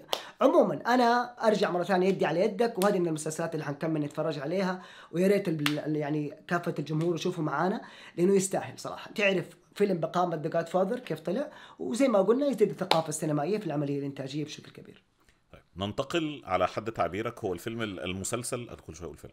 المسلسل الأسهل في المتابعة ما بين اللي موجودين دلوقتي. هروح لما أعتبره الأصعب في الأصعب. المتابعة ما بين كل اللي موجود دلوقتي وهو The Own We Own This City متفق؟ مليون في المية. متفق جدا. We Own This City. مسلسل اتعرض منه حلقتين لغاية دلوقتي. آه، من بطولة جون برنثال من الناس من الممثلين اللي إحنا كلنا بنشجعهم من أول مرة شفناهم فيها لأن إحنا عارفين قد إيه هو ممثل هايل. آه، بيدور صحيح. عن فضيحة آه، رشوة وبلطجة وفساد وعنف وعنصرية كل حاجة انت عاوزها في الدنيا في شرطة بلتمور ما بين سنة 2015 لسنة 2019 بكل تفاصيلها بكل اللي دار فيها من صناع مسلسل ضواير آه، ده مسلسل صعب. ده صعب بجد. يعني أنا أنا أول حلقة اتفرجت عليها نص الحلقة بعمل بوز وأنا قاعد مع مراتي ده مين؟ ده ده هم بيتكلموا على حاجة زي ما نكون كل المفروض نكون عارفينها. هو ده سنة كام؟ ورجعنا عملنا rewind علشان نكشف إن كانت في إشارة للتواريخ إحنا ما كناش شايفينها أصلا. وما كناش واخدين بالنا منها. بتوضح لأن الأحداث بتنتقل كتير في السنين. بتجيب لك أصل الضباط دول كان إيه؟ والتحقيقات اللي بتتم حواليهم من أكتر من جهة. عاملة إزاي؟ عددهم كبير. عدد الشخصيات مخيف. الانتقال سريع. الحوار مش متعاطف مع المشاهد اطلاقا. هو بيحكي لك اللي حصل ما بيحاولش يخطب لك ما بيحاولش يدي لك exposition تقريبا صفر exposition في الحلقتين اللي إحنا شفناهم. ولكن مع الحلقة الثانية لما. تولف عارف لما تطلع على treadmill وانت لسه مش متعود على سرعتها وتقعد تتشنكل شوية وتتكعبل شوية وبعد كده تظبطها على اللي انت عاوزه فتلاقي الريتم ظبط والدنيا ظبطت. أنا انبهرت بإن ده حصل مع أول 10 دقائق في الحلقة الثانية خلاص. جمعت اللي حصل وعرفت ادوس وعرفت اعمل الكلام ده كله. مسلسل راقي جدا. انت إيه رأيك؟ أنا أنا أقول أنا هذه من الأشياء اللي فعلا ضرورة إنك تقول مين اللي ورا العمل. إنك لو ما قلت مين اللي ورا العمل أنا من الناس كان من الممكن إني أوقف في نص الحلقة الأولى. أول شيء مين اللي ورا العمل؟ عشان يزيد ثقتك في العمل. وإنك تقول اللي سوى The Wire هم اللي وراه حتقول أوه أوه أوه دقيقة. The Wire رجعوا مرة ثانية واي إيش القصة اللي يبغوا يقولوها هذا واحد. اثنين إنه واحد بي- بي- بيمثل أنا مرة أحبه وأنت تحبه كثير أظن ما في أحد آه، اتفرج على برنثال The Punisher ولا ولا حتى Walking Dead. ولا حتى ليه ليه مشهد. واحد في Wind River من أروع ما يمكن ما في أحد اتفرج على الممثل ده ما يقدر يتعاطف معاه يديك القوة سبحان الله مع ال vulnerability أو الضعف اللي هو الضعف مو إنه ضعيف لأ الضعف ال emotion العاطفي هذا بطريقة ولا أروع فلما أشوف إنه هو موجود في الم... وبطل. وأشوف كمان إنه ال... ال... ال- الكتابة حلوة. وأشوف إنه بعدين أبدأ أركز مع طاقم العمل وفي كم ممثل تانيين أنا أعرفهم من مسلسلات أخرى ولا من أعمال أخرى. هذا اللي خلاني أكمل لأنه ال exposition زي أنت ما قلت صفر. ونرجع نوضح مرة ثانية إيش يعني exposition؟ ما في توضيح ما في مثلا تحت يقول لك إحنا في التاريخ الفلاني. أو أحد يتكلم نحن هنا نريد أن نتحدث اليوم عن ما حدث في هذه المدينة وإنه أو, أحد أو تلاقي ضمن تلاقي شخصيتين المفروض إن هم بيتكلموا مع بعض فجأة بطلوا يتكلموا بعض وبقوا بيكلموك أنت. يقول لك بس لو تفتكر. سنة 75 حصل هم الاثنين عارفين اللي حصل طب أنت بتقوله تاني ليه؟ بالضبط بالضبط. فهذا اللي إحنا بنقول إنه ما في اكسبوزيشن وأنا من الناس اللي أكره أكره اللي تديني بالملعقة لكن في نفس الوقت هذه النوعيات من الأعمال مش كل وقت. هذا لازم أتفرج وأنا زي الواحد يكون جيعان وياكل وجبة كبيرة ما ينفع وأنا جيعان وأنا مرة شبعان تجيب لي وجبة حلوة مهما كانت طعمة ما حآكلها. هذا نفس الشيء لهذا العمل إلى الآن حلقتين ثقيلة يبغى لها تركيز تركز على الأبعاد الزمنية الخطوط الزمنية على الشخصيات هم قصدهم إيه بيتكلموا على إيه. بالذات إنه إحنا كمشاهدين عرب ما حنقدر نفهم من السياق حق الحوار تاريخ الأمريكان لكن. لو واحد امريكي لكن لو واحد أمريكي بيتفرج حيقول ها هم قصدهم على اللي صار في 2017 ولا اللي صار في الانتخاب الشخص الفلاني 2016 لأنهم عارفين مين المنتخبين ومين أسماء المحافظين ال- الضباط دول يعرفوهم هم عارفين هم بالظبط. أصلا بيشيروا لكل الأحداث إنها منقسمة قبل حادثة مقتل حد وما بعدها إن كل معروف. حاجة كانت. هم عارفين ده مين إحنا ما نعرفش ده مين بالضبط بالضبط. فهذه الفكرة آه، هذه مرة ثانية العمل معمول للأمري... مو معمول للامريكان معمول للعالم لكن معمول من أحداث أمريكية فطبيعي المشاهد الأمريكي حيكون عنده معرفة أكثر مني ومنك. فأنا معناها لازم أجي أتفرج وأنا مليون في المية جاي مركز مع العمل. طالما واثق في اللي كتبوا The Wire وإنه في ممثل زي برنثال حيخليني أعمل الشيء ده. عشان كذا قلت لولا وجود العاملين هذه أنا من الناس اللي كان ممكن أعطي له فرصة وإذا كان ال mood حقي مو كان ظابط وقتها كان بطلته كان راح علي مسلسل. للآن واضح إنه ثقيل وأتمنى إنه يكمل بنفس المستوى. آه، اتكلمنا كتير عن The Wire وأنا ما شفتش دواير بس أسمع عن قيمته ووزنه. آه، مش عايزك تحكي لنا عن The Wire بس عاوزك تقول لنا من الآثار بتاعته أو من البصمات بتاعته إيه موجود في We Own This City ال brutality أو العنف حق الشرطة. وقد إيش إنه الشرطة ما هم جايبينهم كجهاز جايبينهم كبشر. ما هو جهاز أمني ما هم ناس ماشيين بس بورقة وقلم وشغالين. لا دول بشر. بيخشوا في في في صراعات ثقافية صراعات اقتصادية. إحنا دائما نشوف الشرطي يا طيب يا بطال وإذا بطال أعمق شيء تشوفه إنه والله مديون ولا أحد بيهدد بزورته ولا شيء. مش إنه يومه العادي وإنه ده اللي بيسويه وإنه ما كان مقتنع مع الوقت بدأ يقتنع بالحاجات اللي لازم يسويها لأنه هو فاهم ثقافة المكان اللي شغالة فيه. هذه الأمور هذه أكثر شيء عاجبني في ده المسلسل وهي من أكثر الأشياء اللي كانت في مسلسل The Wire فعلا بتبين لنا قد إيش الموضوع آه بالذات الثقافة الأمريكية مش أبيض وأسود. إحنا بالنسبة. لنا لما نتفرج اليوم لما نشوف اليوم في ال- ال- العنف ضد السود في أمريكا بنقول عنصريين والسلام. طب في شرطة سود. في شرطة من السود. كيف تخلي شرطي أسود يتعنصر على ولد بلده؟ إيش فيه معناته في شيء. لما تتغلغل في الجانب الإنساني لهذا الشرطي بثقافة المكان اللي هو موجود الجهاز الأمني هذا حتعرف. وهنا اللي طلع معانا من أجمل الأدوار اللي موجودة The Wire وشخصيات مرة حلوة طلعت career ل- للممثلين إحنا نعرفهم اليوم ونحبهم. لا The Wire ضروري. يمكن يعيبوا إنه إنه انعمل مرة زمان قبل ال golden era أو الفترة الإنتاجية الذهبية حق المسلسلات واللي يؤثر بشكل كبير على جودة العمل بصريا بس مش تمثيليا ولا حواريا بصريا مو أجمل شيء. بصريا مو أجمل شيء. I see what you mean نقطه لفتت نظري وأنت فكرتني بيها مهمة جدا فكرة الأبيض والأسود. لأن رغم إن المسلسل ده يا جماعة بيتعاون بيتعامل مع وحوش. أنت بتتعامل مع يعني شخصيات مجرمين وانت عارف ان هم مجرمين وكل حاجة بيعملوها في المسلسل أغلبها إجرامية ولكن هو مش واخدهم على إنهم شخصيات شريرة بطبيعتهم أو بفطرتهم. جاب لك مركز لك مع شخصية جون برنتال ديت جايبك من أول لما دخل الشرطة كان عامل إزاي وتحول إزاي في بعض لقطات المونتاج والمونتاج في المسلسل ده يتعمل فيه نتكلم عنه كتير في كلام كتير قوي يتقال عنه يعني. وإزاي إن طبيعتهم ديت مستمدة من طبيعة البيئة اللي هم موجودين فيها؟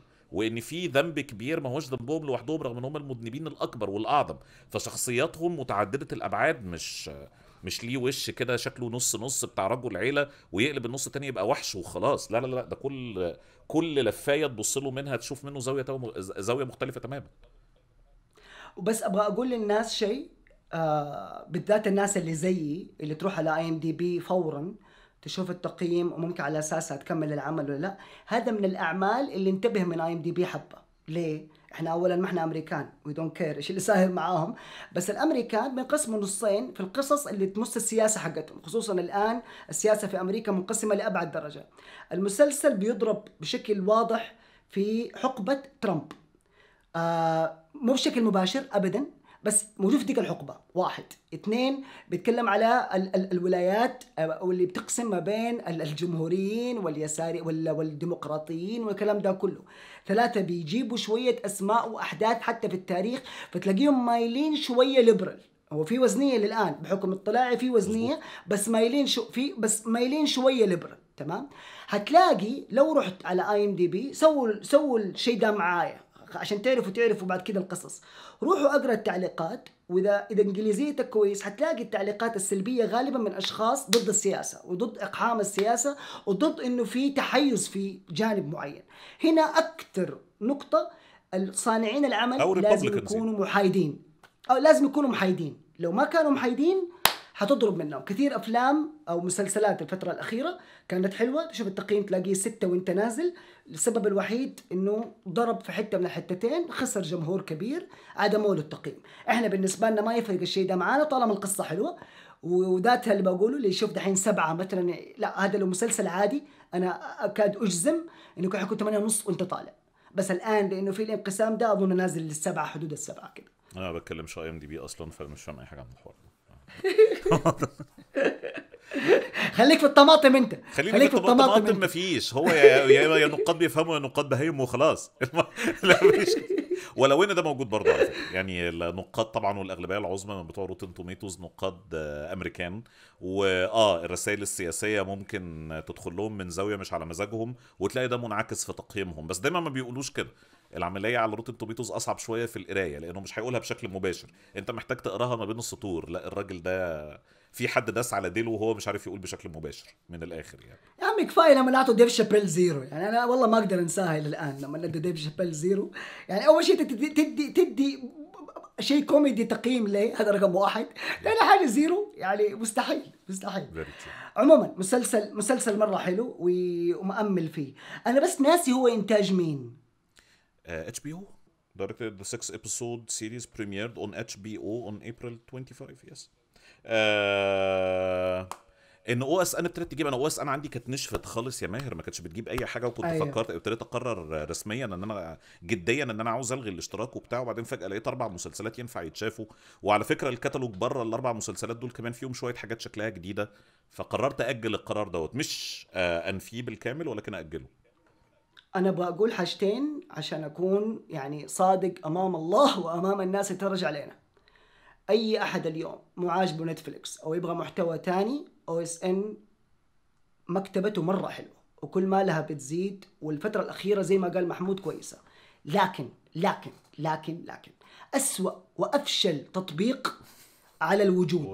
تمام؟ يعني أنا ماني عارف أنا ماني عارف آه ليه في ال- في الزمن ده 2022 إحنا ما زال عندنا بعض الغلطات والأخطاء الغبية اللي تتكرر عندهم وهذا واحد. اثنين ما عندهم ميزة ال download ما أقدر أعمل download لحاجة طلع الطيارة مثلا أو شيء إني أنا اكمل اللي صارت موجودة في باقي المنصات الباقية كلها. الش- الشيء الثالث ما- عندهم 4K الجودة اللي عندهم مش فل يعني أظن 720 أو بشكل 1080 عالم أول شوية ال موضوع الفور كي ده بصراحة يعني. لا بس يعني حرام. يكون عندك تلفزيون والصفاوه حقته كويسة والنت حقك كويس في الأخير تتفرج على حاجة أي كلام يعني حرام. يعني وأنت الوحيد اللي عندك المنتج ده. فأظن الأشياء دي لو صلحوها مع الخوف إنه يطلع المنتج حق HBO إذا دخلت المنطقة عندنا. إذا ما دخلت المنطقة كفاية HBO كتالوج اللي موجود عندهم صراحة. وغير HBO من وقت انت عندك أخبار إن HBO داخل عندنا المنطقة؟ أيوه أيوه أيوه. في لا، أول مرة دراسة أسمعها دي. أيوه أيوه أيوه أيوه. في أكثر من دراسة قريناها للتوسع وجابوا فيها Middle East يعني. لأنه اليوم الحرب حق ال streaming كل ما لها بتزيد. يعني نتفليكس واللي صار معاها الآن آه يمكن فرصة نتكلم عن هذا الموضوع شوي. Okay. Okay؟ اللي صار مع نتفليكس مؤخرا السهم حقهم زي ما إحنا عارفين آه نزلت بشكل كبير. Subscriptions آه كله اول مرة ever أيوه. لأنه لأول مرة بتتكلم من ever ينزل تيجي تعلن عن النتائج الاقتصادية حقت الشركة المالية حقت الشركة وتقول والله أنا المرة هذه ما زدت ما نميت ما ما كبرت. أنا بالعكس قلوا عندي المستهلكين أو قلوا الناس المشتركين في القناة. آه طبعا خبر زي ده لأول مرة حيصير حيأثر حيعمل زوبعة. وبالتالي مع الوضع الاقتصادي العالمي المضطرب حروب وكورونا وغيرها الناس حتبدأ تبيع وتشتري في الأسهم وبطبيعة الحال حتنزل. شفنا قبل فترة إيش اللي صار في أسهم تانية ما حخلي المجال ده مجال نتكلم عن الأشياء المالية لكن اللي بحاول أوصله إنه يا جماعة الموضوع مو عشان في ناس ركبت الموجة وبدأت تتكلم عشان نتفليكس صاروا على الأجندة بس ونتفلكس لا لا الموضوع مو كده. الموضوع بكل سهولة بكل سهولة. مكان كان لحاله لحاله اللي موجود لحاله اللي بيعمل ال streaming. آه بدأت تفوق الشركات الثانية ال streaming متأخر. آه على ما فاقت الشركات الثانية على ما بدأت منصاتها على بدأت ما تنتج أعمال. لما أنا أنتج أعمال أصلية في المنصات الثانية معناته حاخذ ممثلين حاخذ منتجين حاخذ مخرجين حيقل عندي الفرصة إنه أنا أعمل إنتاجات كمان قوية. طبيعة الحال لما يزيد التنافس الكيكة بدل ما كانت دائما أنا لي الوحيدة بدأت تتقسم على أفراد آخرين. بطبيعة الحال وضع الاقتصاد العالمي اللي صاير الناس دوبها لاقية تأكل في أشياء كثير أنا حبدأ أكون انتقائي لا أبغى دول غير دول سواء عجبتني الأجندة ولا ما عجبتني أجندة ولا غيرها.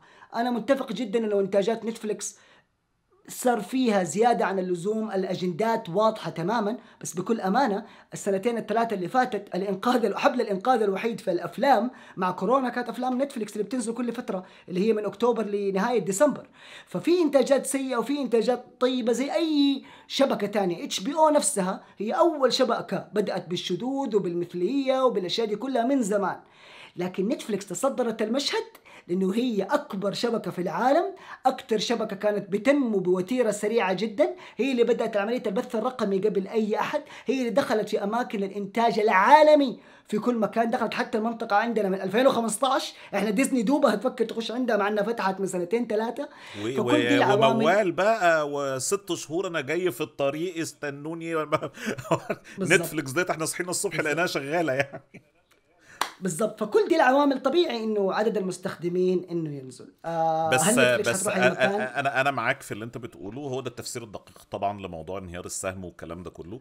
آه بس أنت داخل معركة جبت إيه للمعركة دي؟ آه إن إحنا ما أظن عندهم. يعني إن إحنا نقول إن نتفليكس دخلت بالشكل اللائق شافت المنافسة اللي جاية قدامها وعرفت إزاي تقابلها. وزعت الإنتاجات المتميزة عندها على السنة بحيث إن المشترك يحس إنه بياخد قيمة مقابل الاشتراك بتاعه. أنا النهارده وأنا واحد بحب نتفليكس وبتابعها دايما ولازم يكون عندي حاجة بتفرج عليها على نتفليكس في أي وقت من الأوقات. اللي بتفرج عليه دلوقتي هو game show لا مسلسل ولا فيلم. صحيح. آخر صحيح. الأفلام اللي شفتها على نتفليكس كلها سيئة مش مش نص نص يا جماعة. واحد صحيح. بس اللي حلو الباقي صحيح. كله سيء.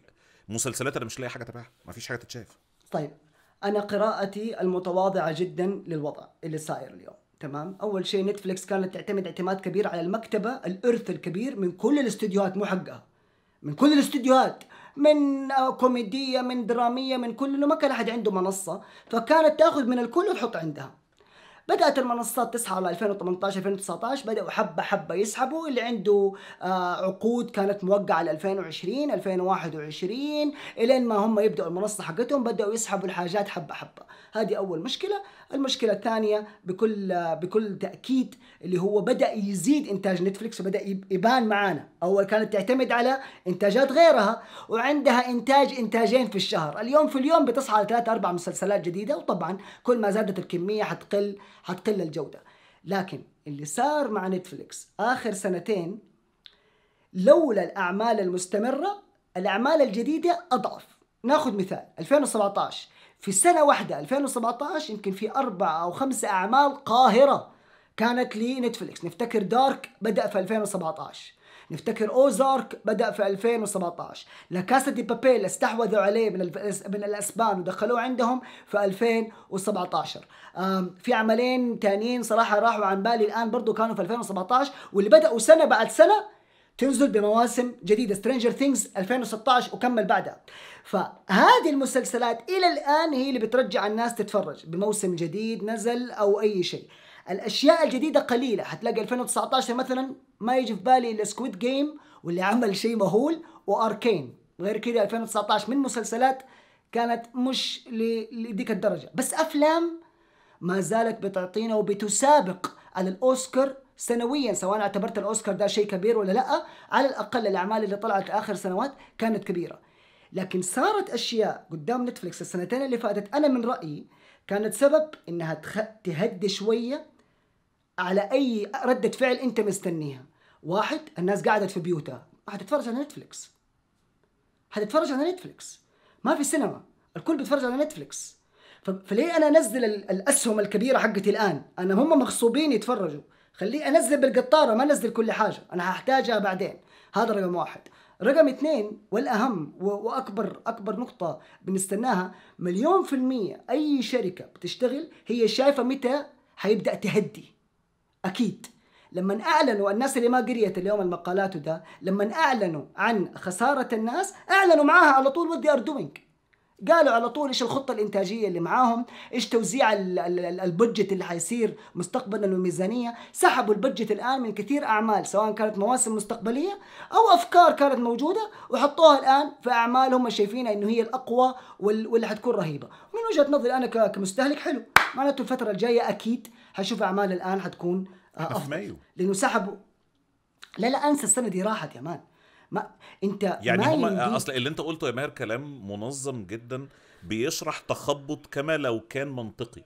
وهو غير منطقي. أنت في وقت من الأوقات زي ما أنت بتقول كنت لوحدك. كان معاك كل أسلحة التميز. كان عندك exclusive contracts مع مخرجين درجة أولى وكتاب درجة أولى لدرجة إن أنت استملت كتاب Game of Thrones شخصيا. وخليتهم يخلصوا مسلسلهم ويقلبوه علشان يجوا يشتغلوا معاك وكل اللي طلعتهم منهم في الآخر Metal Lords انت. كان عندك أسلحة هو- بالهبل انت على ما يبدو على ما يبدو وهي دي قراءتي للموضوع ما اديتش للناس ديت البيئة اللي كانوا متوقعينها ما اديت لهمش الانتشار اللي هم كانوا متوقعينه ما اديت لهمش النجاح اللي هم كانوا متوقعينه لدرجة إن اللي حتى فاضل منهم النهارده بقى بيكوم المشاريع بتاعته بيرميها في وشك Judd Apatow اللي بقاله سنين ما قدمش أعمال كوميدية لما جه يعمل حاجة لنتفليكس عمل لهم The Bubble أسوأ عمل ليه على الإطلاق hands down يعني. وما يعني- السنة اللي فاتت حتى السنة اللي فاتت انت قابلتنا في بدايتها بفيديو جبار في arsenal of أفلام ووعدت الناس انك هتنزل فيلم كل يوم وده الأفلام بس غير المسلسلات. وكان عندك Squid Game وكان عندك Hellbound وكان عندك شوية حاجات كويسة وكان عندك مواسم من حاجات قديمة مقبولة. السنة اللي فاتت على مستوى المحتوى مش قادر أقول عليها إنها كانت سيئة أو وحشة بالنسبة لنتفليكس. حتى إحنا جينا وقلنا ان طوق الإنقاذ للأفلام في نهاية السنة كان نتفليكس فقط. بس السنة دي خمس شهور ست شهور حتى لما ببص على اللي انت بتقول انك هتعمله على رأي ماهر زي ما بيقول دلوقتي انسى السنة دي انسى السنة دي يبقى انت أخطأت من- آه. ال competition. Overwhelmed you. وانت كان عندك أسلحة. بالهبل أسأت استخدام اغلبها مليون في المية أنا هذه هذه هذه قراءتي للموضوع قدام لما تشوف مثلا اتش بي أو اتش بي أو على الرغم إحنا دائما بننتقد ورنر براذرز وقرارات ورنر براذرز ورنر براذرز اثبتت أثبتت للناس كلهم بالأرقام انه خطتها كانت صح واللي سوته 2021 ممكن ضر السينما بس فاد منصة إتش بي أو إتش بي أو ماكس زاد عدد المشتركين زاد كمية الناس الواثقة في ال في ال في ال في ال content كان عندهم كان عندهم جرأة إن هم ياخدوا قرار صعب في وقت صعب. و- و- بالظبط. واثار استياء الكثيرين ولكن فعلا زي ما ماهر بيقول مع مرور الوقت أثبت إن هو كان الصح. لكن نتفليكس اليوم مشكلتها الكبيرة يا مهدي نرجع مرة ثانية. يعني سهل ننظر بس نتفليكس كانت مبنية على منصة كبيرة. ليش نتفليكس في كل البيوت اليوم؟ زي الموية يعني جزء من فاتورة الميه بجيب نتفليكس خلاص. يعني ما أقعد كل شهر أ cancel أنا في منصات تانية. لأ شهر أجيبه شهر لأ على حسب إيش المنتج اللي صاير. نتفليكس دائما موجود خلاص مهما كان أدور على حاجات. ليه؟ لأنه مكتبة واسعة غزيرة جدا. لما المكتبة الغزيرة دي تجف مع الوقت. ضروري تنزل فيها وهذه الغلطة الكبيرة اللي عملوها. عملوا كمية أعمال بالهبل عشان بس المكتبة تكون زايدة. ظنا إنهم يقدروا يخلوا الجيل الجديد على الأقل هذا اللي خلاهم يروحوا للأجندة لأنه هم بيروحوا يتكلموا مع ال Gen Z ال generation الجديد اللي يهمه الانفتاح و و والكلام الفاضي اللي هم بيقولوه ده واللي ضرب عليهم في الأخير. فهم الآن بي بيحصدوا أثر أربع سنين من الإنتاج المستمر اللي جو لقوا إنه المنافسين أقوى من اللي كانوا عاملينه. اليوم حي... حيصير في إعادة نظر لكل شيء حينتج عنها أثر بس من الخطة الآن السنة دي أنساها. أي حاجة غير السنة دي أنساها. يعني السنة هذه حتنزل لك أفلام الأوسكار زي العادة إنه هذه من إنتاج السنة اللي فاتت. أنت بتتمنتج الآن وبتمكسج وحيروحوا إعلاء ال- ال- ال- ال- الم- المهرجانات كان وفينيس وغيرها وت- وتعرض عندك على سبتمبر أكتوبر نوفمبر ديسمبر زي كل سنة. بس هل في شيء الآن حي... حيقدهم تاني؟ لا. الآن حيصير في إنتاجات الآن حيصير في قرارات الآن حيصير في إلغاءات. وسمعنا عن إلغاءات متعددة المسلسلات أبو كلب. إيش المسلسل حق ستيف كاريل حق الفضاء ده؟ ما كانش لازم يتعمل موسم تاني أصلا. أصلا؟ أنت عملت عملت تاني ليه؟ يعني فك والله وده لما قريت. وده على فكرة بعيد عن نفس وجهة النظر اللي بقولها للناس اللي بقت بتشتغل عند نتفليكس في ال zombie mode. ستيف كاريل يا جماعة مش هين عليه يغير هدومه وهو بيمثل في المسلسل ده. شغال zombie mode حاجة في منتهى الكسل اللي في الدنيا. الوضع الوضع مأساوي اللي صاير آه و وأكبر دليل أنا لما متى انتبهت؟ لما قريت الخبر حق نزول المشتركين قعدت قلت دقيقة يا أخي؟ أنا متى آخر مرة عملت review لحاجة نتفليكس man I didn't review any شيء لنتفليكس السنة كاملة إلى الآن. دام. أنا مش فاكر. ولا شيء. ولا شيء. ولا شيء. هل أنا عندي ضد نتفليكس شيء؟ لا. بالعكس ده ده أنا في الجو أحيان ناس- تو ده أول حاجة بنروح لها. الناس بالعكس أنا أسهل شيء عندي نعمل review لحاجة نتفلكس لأنه عدد الناس اللي عندهم المنصه أكثر فحيشوفوا يا أنا حساعد العمل ينتشر يا العمل وانتشاره حيساعد ال views عندي. يعني دائما اللعبة سهلة بس طالما إني ما اتكلمت أصلا معناته إنه فعلا ما كان في حاجة تجرؤ للكلام أو إنه حتى لو كان في شيء حلو ما كان حلو لدرجة إني افضي له وقتي ولا افضي له slot وأخليه ال review فهذا الشيء يعني alarming بس لمصلحتنا إحنا كمستهلكين كل ما زادت التنافسية آه حيزيد يا عندنا إن شاء الله يكون أفضل. هو ده ناقوس الخطر اللي يفوقوا منه وي... ويقوموا على حيلهم ويشتغلوا شوية. وهذا اللي خلاني المرة دي وتكلمت وكتبتها حتى في في تويتر كمية المسلسلات في 2022 مرعبة مع غياب نتفليكس. مرعبة وجميلة. أبل تي في عاملة مسلسلات ولا اروع OSN اللي بتعرض الحاجات اللي جاية من HBO مثلا. شو تايم واللي بينعرض على ستارز بلاي. في في آه، آه، غريب إنه شو تايم ينعرض في في في ستارز بلاي مش على أو إس إن. لأنه أو إس إن أصلا كان اسمها شو تايم عندنا. أساساً. ما عليه ب- ببربر ببربر عموما آه فترة مسلسلات رائعة. فترة مسلسلات حلوة. صحيح جدا. اللي بعده. اللي بعده إحنا كنا لسه بن- يعني قبل ما نخش في الحوار بتاع الشبكات والمنصات كنا بنتكلم عن أحد المسلسلات المعقدة جدا آه، عن عالم الشرطة في أمريكا في بالتيمور. في مسلسل تاني معقد بس مش جدا مش زي We Own This City خالص. بيدور عن عالم الجريمة والشرطة والصحافة في اليابان في طوكيو. وهو مسلسل آه، طوكيو فايس. ده آه، اتعرض الموسم الأول منه لو هيتعمل منه موسم تاني بالكامل خلاص ولكن أنا شفت أول أربع حلقات بس. آه، أوه! لسه ما خلصتوش. مان أحلى حلقات اللي ال- الأخيرة. ما هو ده اللي كنت عايز أسألك عليه. آه أنا مبسوط من المسلسل. أوه. عندي شوية آه انتقادات. هو اولا المسلسل بيدور عن آه، قصة حقيقية من مذكرات صحفي كان عايش في أمريكا آه كان عايش في اليابان. وكان عاوز ينقل هناك ويعيش وهو أول آه ريبورتر أول آه اسمها اسمها إيه؟ صحفي؟ أول صحفي أو أول مراسل آه، أجنبي في أكبر جريدة على وجه الأرض وهي الجريدة اليابانية اللي هو راح يشتغل فيها. وبعدين إزاي الأحداث الجرائم اللي كان بيحاول يحقق فيها لأنه بيشتغل في قسم الجريمة دخلته من الياكوزا وعصابات المافيا والجريمة المنظمة في اليابان وعلاقته بزملائه وعلاقته بالمجرمين وعلاقته بالأمور دي كلها وعلاقات متشعبة وعظيمة جدا. المسلسل ده أول حاجة لفتت نظري ليه هو ال pilot لأن ده مسلسل تحس إن هو معمول زمان مش معمول دلوقتي. معمول على الموديل القديم اللي هو بيحاول يبيع نفسه من أول حلقة. وال pilot بتاعه أنا هدعي وأقول إن هو أفضل أول حلقة لأي مسلسل شفته السنة دي.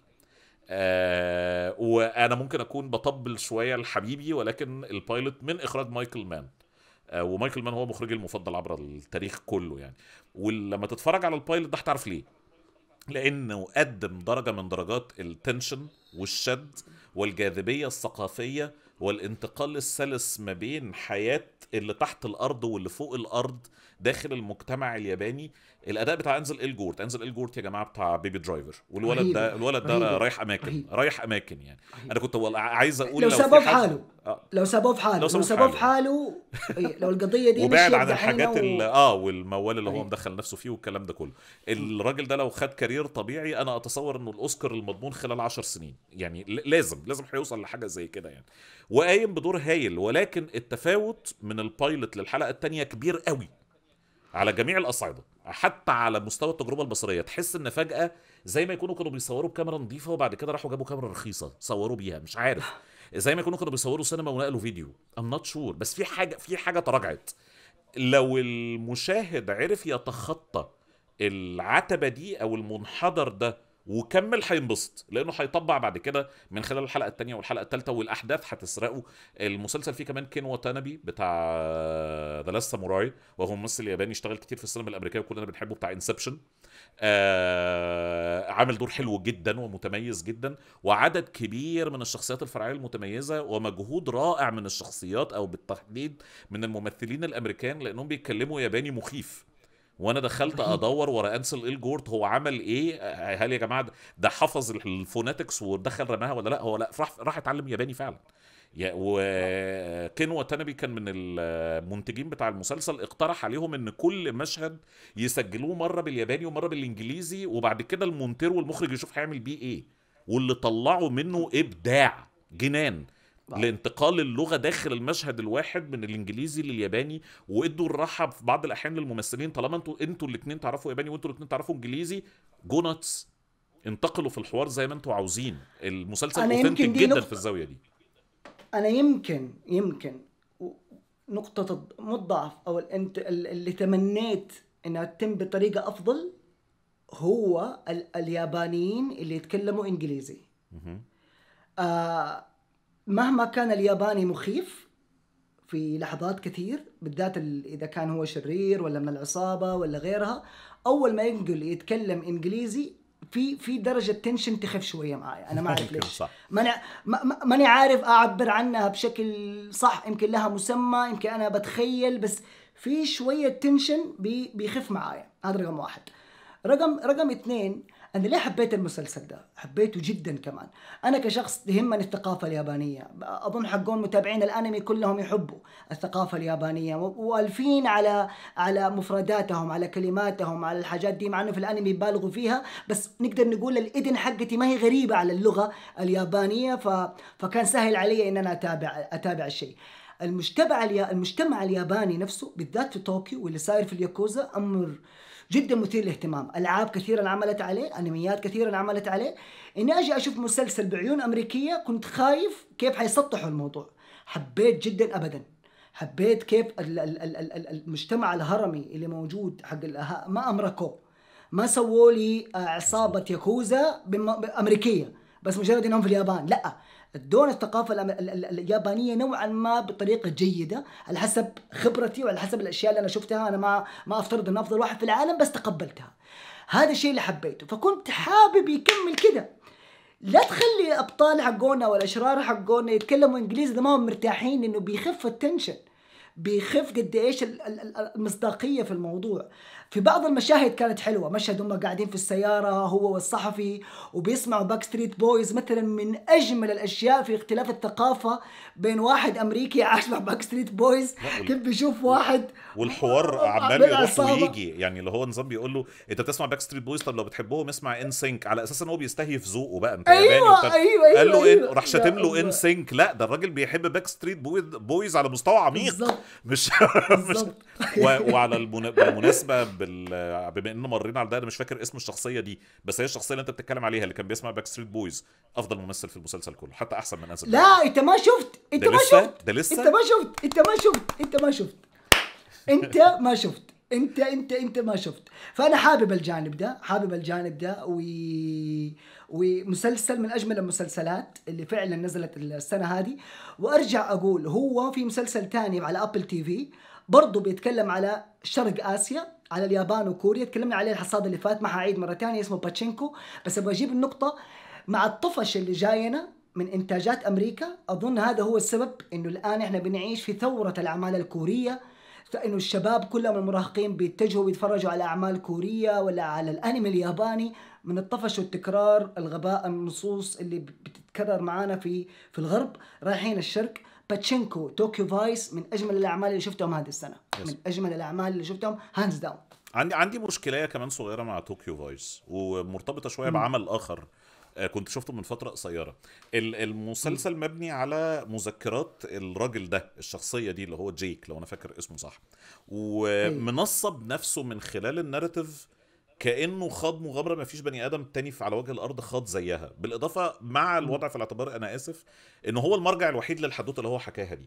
لأن برضو في بعض الأصوات اللي طالعة بتقول الحكاية دي مش حقيقية وبعض الناس اللي في اليابان بتقول لك التجسيد ده ما حصلش واللي هو قاله دوت ما حصلش بنفس الطريقة اللي هو قالها والكلام ده. أنا مش قصدي أشكك في اللي هو حكاه بس هو فعلا وضع نفسه في مركز عدد كتير من الإنجازات الأسطورية في أربع حلقات بس تتنافى شوية مع المنطق. فكرني شوية بفيلم The Tender Bar اللي كان المفروض إن هو بيطرح آه، بين افلك على إنه يكون آه، يكسب الأوسكار لأفضل ممثل مسند السنة اللي فاتت وفي الآخر تم تخطيه تماما برضه كانت نفس. الفكرة إن هو كان قايم على مذكرات بطل الفيلم اللي هو برضه مؤلف الفيلم عن المغامرات بتاعته وبيحكي قصة خاله اللي رباه اللي خلاه يصل اللي هو وصل له. وصلت لإيه بالظبط؟ أنا مش فاهم. يعني إحنا مش بنتفرج على قصة حياه نجيب محفوظ يعني. انت مجرد كاتب أول مرة نسمع عنه كان من جوه البتاع ده. حتى المجتمع الأمريكي لما جيت اقرا ارتكلز ما يعرفوش الاثنين ما هماش حاجة كبيرة قوي عندهم يعني. فالحاجات اللي مكتوبة عن مذكرات شخص هو بطل العمل وهو الكاتب بتاعه بقرب لها بشوية حرص كده. بتحس إن أنا إيه ماسك ماسك خشباية بهزها الأول قبل ما قبل. ما آخد غطس جوه الاحداث أزيدك من الشعر بيت. يعني هي نقطة واحدة لو تعديتوها يا جماعة حتتفرجوا وتنبسطوا، إذا ما عديتوها أنا ما أنا بعديها على مضض بس لأنه الجو العام عاجبني حق المسلسل. أم المجتمع الياباني بحكم عملي كثير مع شركات يابانية آه لفترات متفاوتة آه زرتهم ورحت وتعايشت معاهم. من أكثر شعوب الأرض صعوبة في التعامل. عندهم حرص ولا تخون هذه ألف. تمام؟ منغلقين على ثقافتهم منغلقين على شعبهم على مجتمعهم بشكل كبير جدا. الكلمة ما تطلع من أحد إلا يأخذ موافقات كل الناس اللي فوقه. هذا جزء من ثقافة العمل جوة ال- اليابان وليس ال- ال- ال- القصة دي تحديدا ككل. فإنك تجيب لي أفراد عصابة زي الياكوزا تثق ثقة سريعة في في مجرم أو إنه شرطي داخل منظومة من- في في في في في, في اليابان تثق بواحد أجنبي؟ هذا بالنسبة لي كان أمر غريب. عارف مين أكثر واحد دوره بالنسبة لي كان صادق 100 100% رئيسه في العمل اللي اللي مو طايقه. yes هذا التصرف الياباني السليم اللي حيصير مع أي واحد أجنبي يجي. على على الأقل من من من أتعامل بتاعته المشرفه بتاعته انتقلت في شعورها تغيرت. ما... بالضبط تدريجياً. أيوه مش على طول بالضبط فكيف تجيب لي في نفس الوقت الناس اللي معاه في العمل وهو معاهم شغال ومر بكل ال interviews وبكل ال...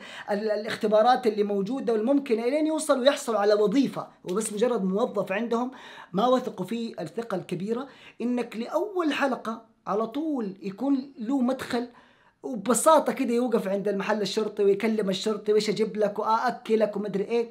لا لا هذا مو في جزء من الثقافة اليابانية أبدا.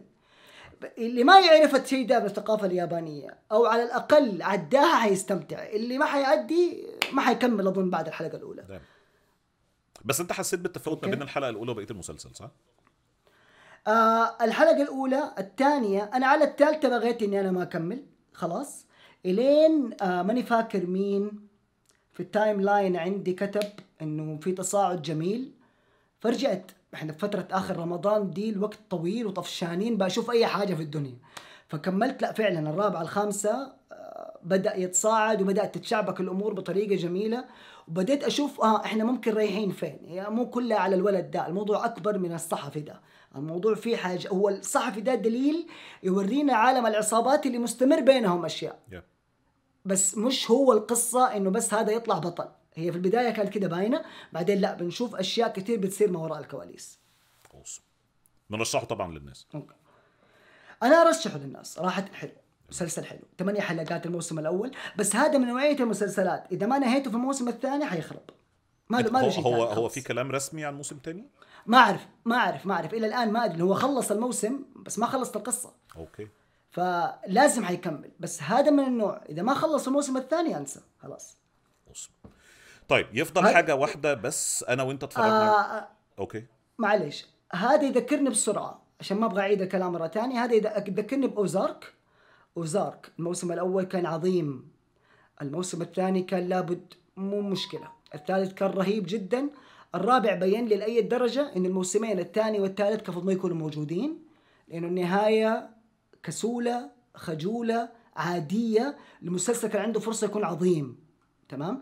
والشر والشر والشيء إنهم ما خلصوا من بعد الموسم الأول أو الثاني. أوكي. راحوا وفتحوا جبهات كتير تكفيلها كان ما له حل آخر وإنك تطول بمواسم تانية برضو ما كان لها ما كان الحل. فالنهاية كانت نهاية عادية خجولة وكسولة. فهذا. هذه المشكلة لما الناس. بتحلب في قصة غير قابلة للحلب حتى لو طلع منها مواسم حلوة لكن المواسم حلوة ليه؟ لأنك فتحت جبهات واديت غموض أكثر عادي تجيب درجات عالية دائما الغموض وتفتيح الجبهات. الدرجات الصعبة في التكفيل. ما قفل صح. وده يذكرنا دايما ب ما أحب أن أسميه آه، آه، آه، أشرف قرار خده صانع مسلسل في المستقبل القريب وهو ديمن ليندلوف عن مسلسل واتشمان لما جه بعد الموسم الأولاني وكل الناس كانت مستعدة تديله اللي هو عاوزه عشان يخش في الموسم التاني وهو يقول لهم مش هعمل الغلطة دي تاني لما يحصل إيه أنا حكايتي مع المسلسل ده خلصت وماليش دعوة خلاص ما مش صعب صعب إن إن أمام الإغراءات دي كلها تصمد وتقول ما عنديش ده صعب قوي يعني. صح صح يلا. تمام.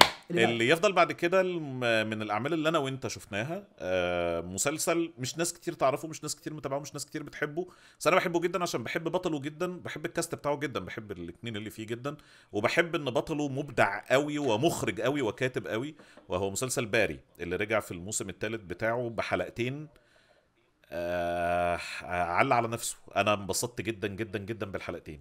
أنت أنطباعاتك. يعني إيش أقول لك؟ آه في ناس كثير ما تفهم المفهوم ال- الكوميديا السوداء بشكل جيد. آه أظن اللي يتفرج على باري حيعرف إيش يعني dark comedy، إيش يعني كوميديا سوداء، إيش يعني الكوميديا الحديثة اللي ما ت... اللي ما يبغى لها أحد يصفق في الخلفية، اللي ما يبغى لها عباطة على الشاشة عشان تضحكني ولا تطيح من كل حاجة، لا أحداث عبط استعباط ألف آه شخصيات حقيقية من جانب معين وبتناقش مواضيع جدا جدا صعبة بس في سياق لا يصدقه عقل يعني المعادلة مرة صعبة هنا بس المواضيع اللي بيطرحوها جدا جدا رائعة. باري هو أجمل مسلسل كوميدي مستمر أو dark comedy مستمر هو وأتلانتا ويمكن هو وأتلانتا بس. في واحد طاح مستواه شوية اسمه مس مزرابل مو مس مزرابل إيش اسمها؟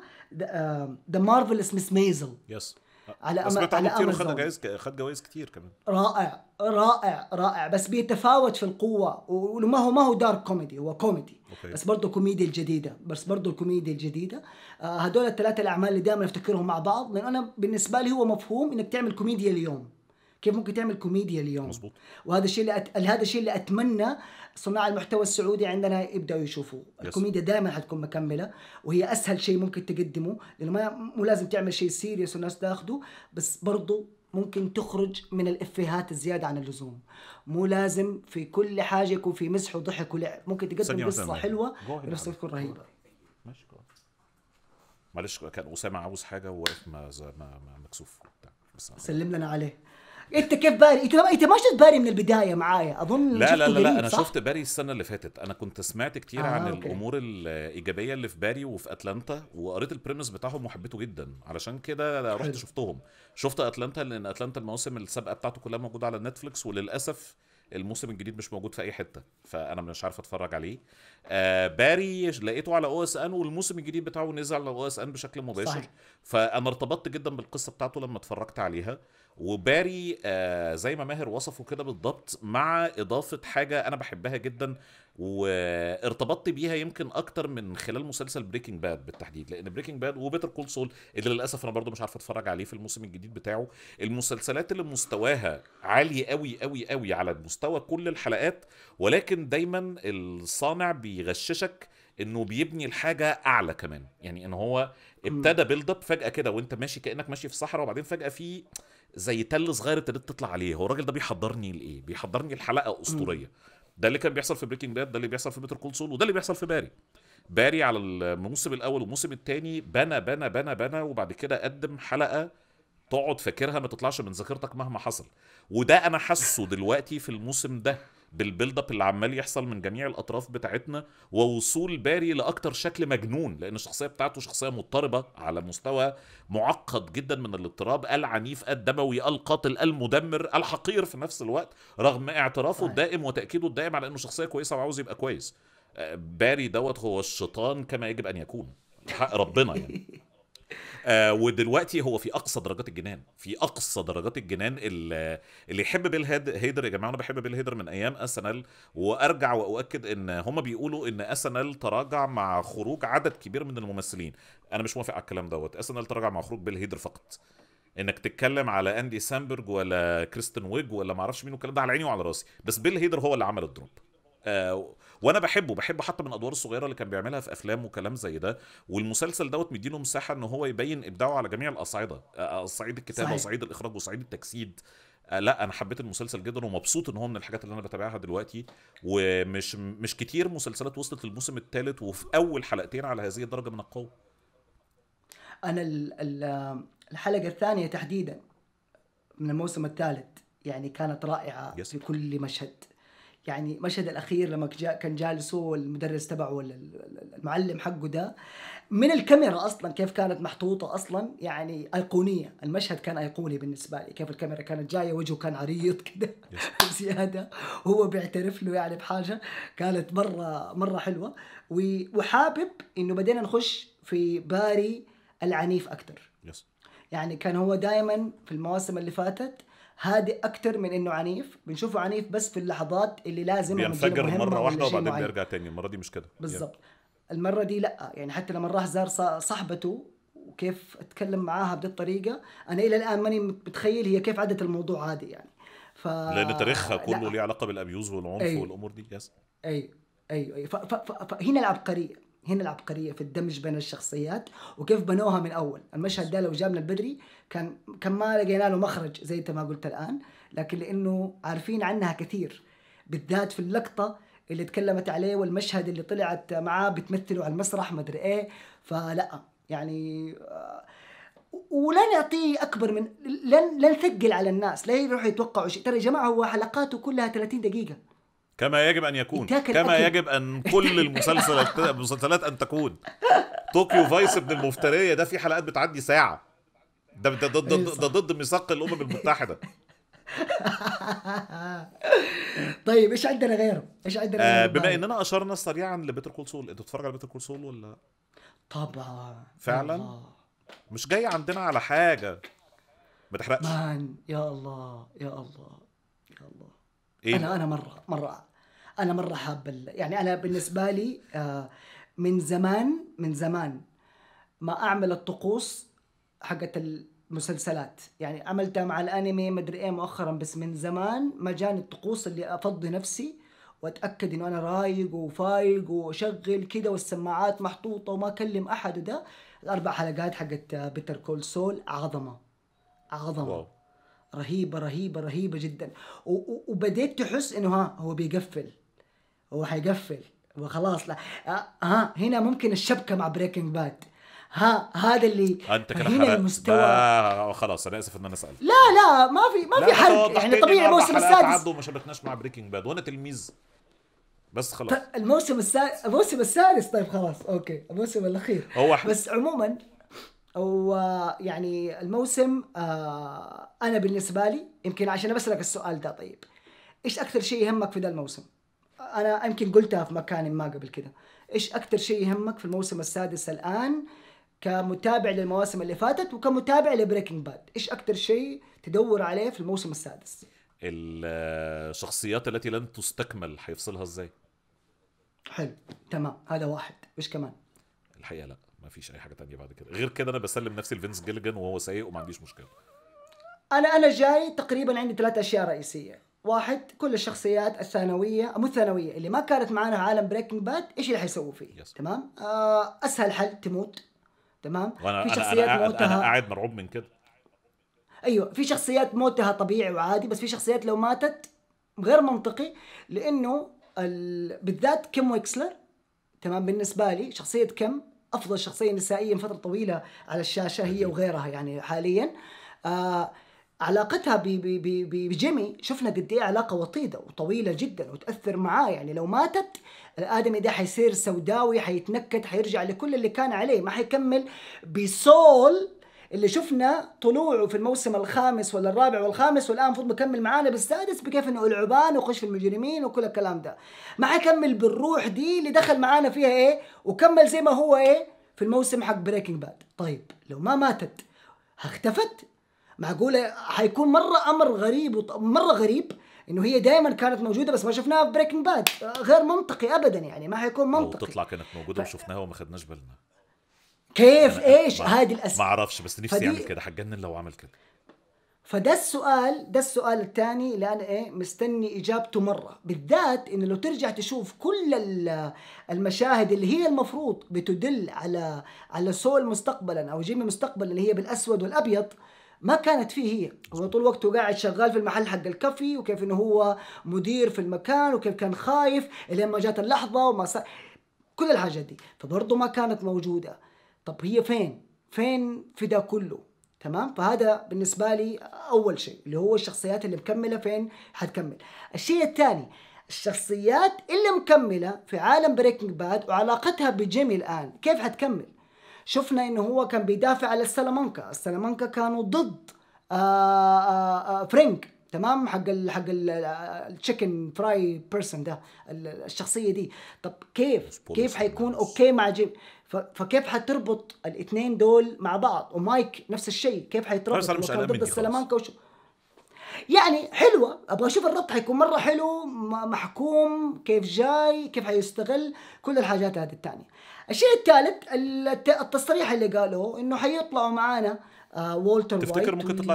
وبينكمان.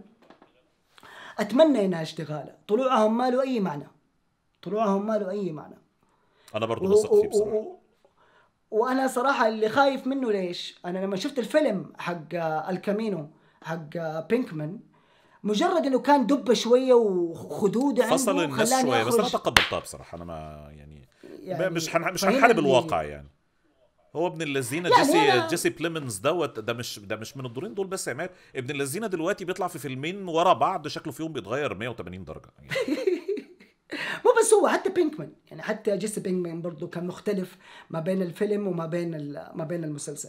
يا عمي اللي أبغى أروح فيها حتى سول شكله أكبر في السن من المسلسل. يعني بحكم السن فإحنا ضروري نتخلص من الأمور دي بس في أشياء حاجات غصبا عني بفكر فيها. وهنا يجي دور المخرج إنه يفكر لا تزيدها لا تخليها واضحة بزيادة. حاول تخليني أنسى الأمور هذه. فدي الثلاث الحاجات اللي صراحة أنا منتظرها من من الموسم هذا. طيب آه، بما إننا اتكلمنا عن المسلسل اللي أنت بتشوفه واللي أنا محروم منه نخش على المسلسل الآخر برضو اللي على قد ما أنا فاهم هو خلص بالفعل وأنت شفته وأنا محروم منه برضو. عشان انت غني جدا وأنا فقير معيش فلوس اللي هو اللي هو إيه؟ لا أنا عايز اركز شوية في حتة ان انت غني وأنا فقير ده آه، اللي هو مون نايت أنا مش أنا يسعدك. مش هسألك على رأيك في مون نايت أنا هسألك أنت هتعمل review لمون نايت. ولا لأ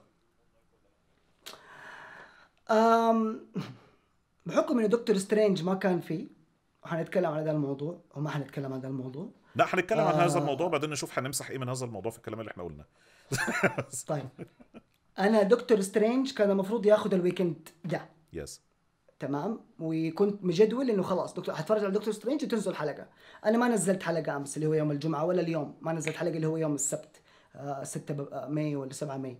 ف كان المفروض أصور مون نايت. لقيت ما أعرف.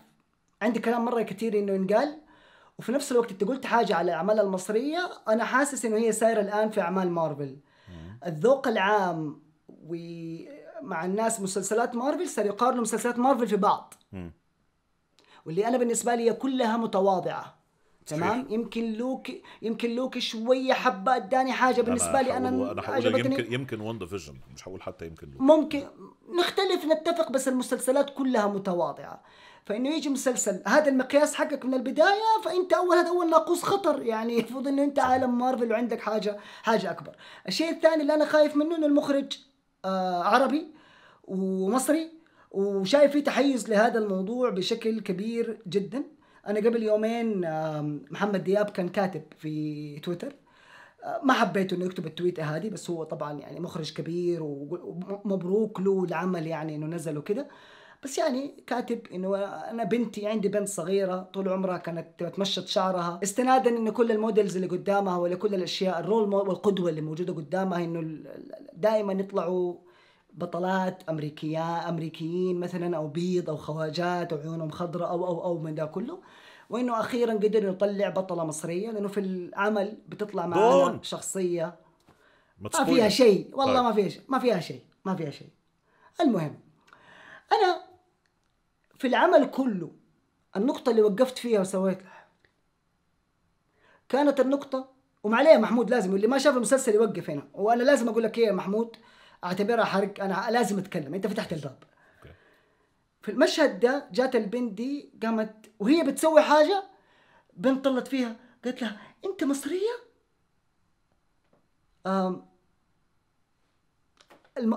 إحنا كنا في خطر وكان في حرب. وكان في ناس خايفة وطايرة.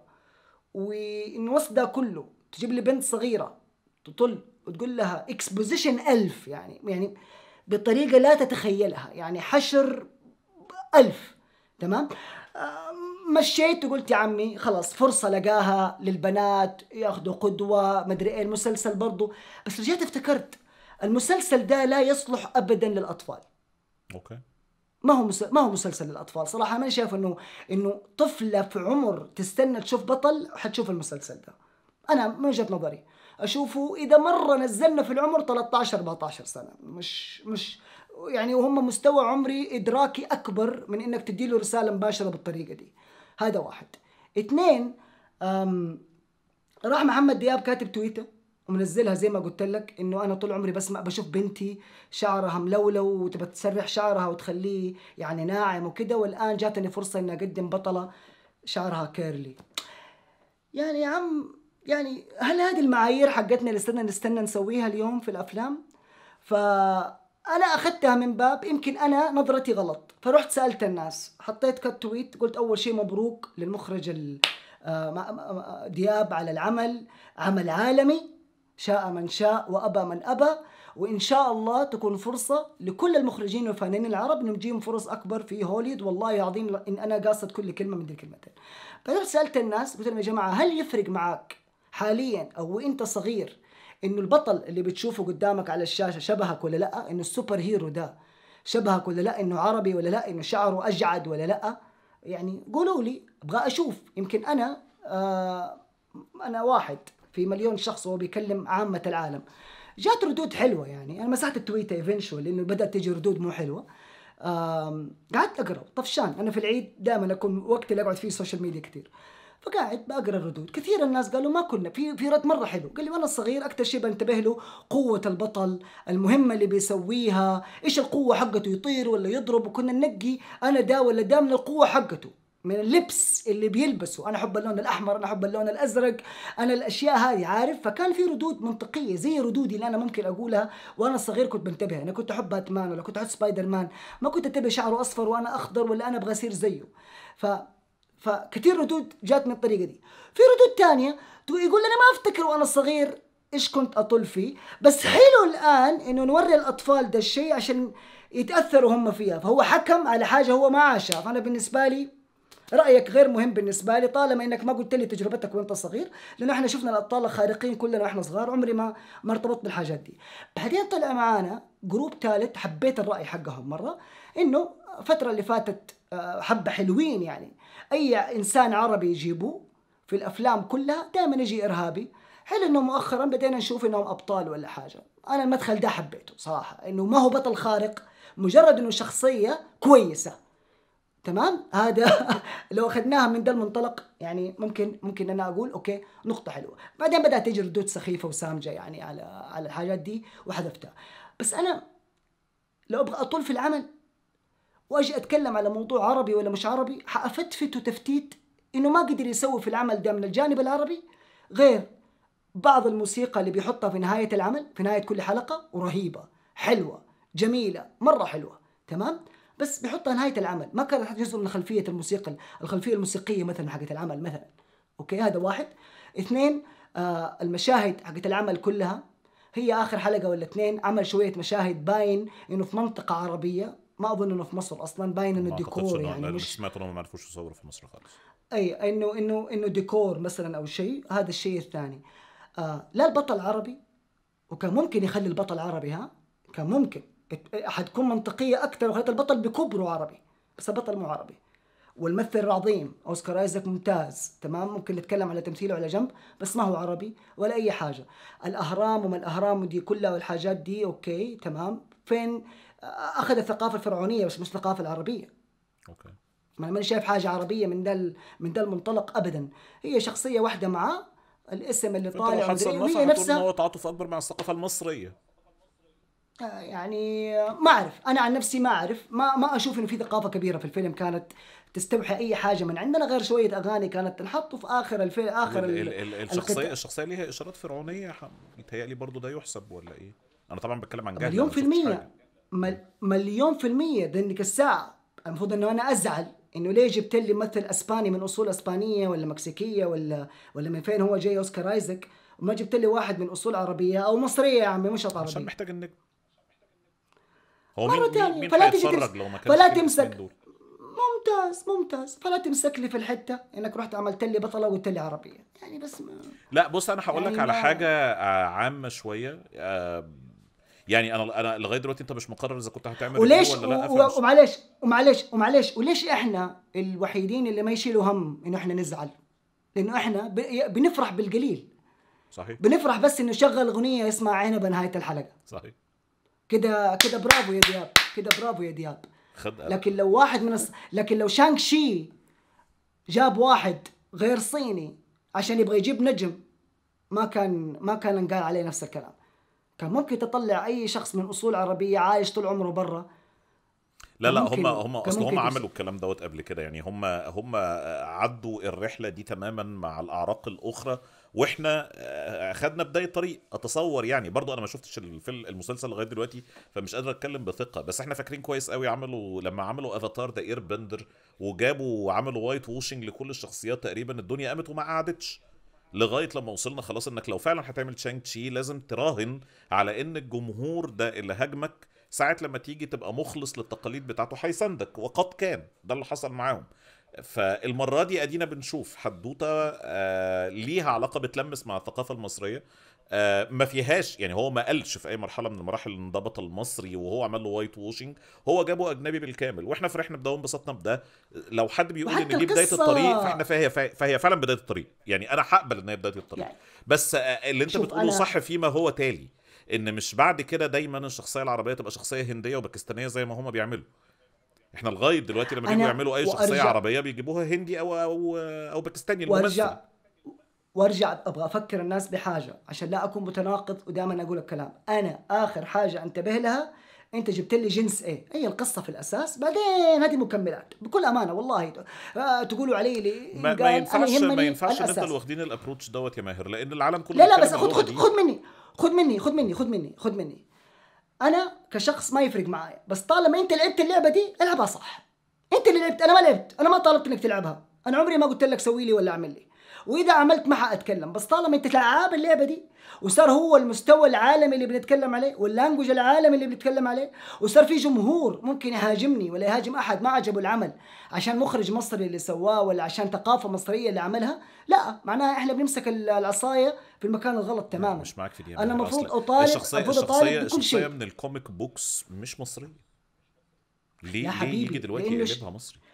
خد خد مني خد مني. لأنه ال comic book لما بدأت ما كان في ال sensitivity هذه ما كان في القانون ده الدولي العالمي اللي صاير. بس أنت بتقارن بشانج تشي وشانج تشي الشخصيه في ال comic books الصينية.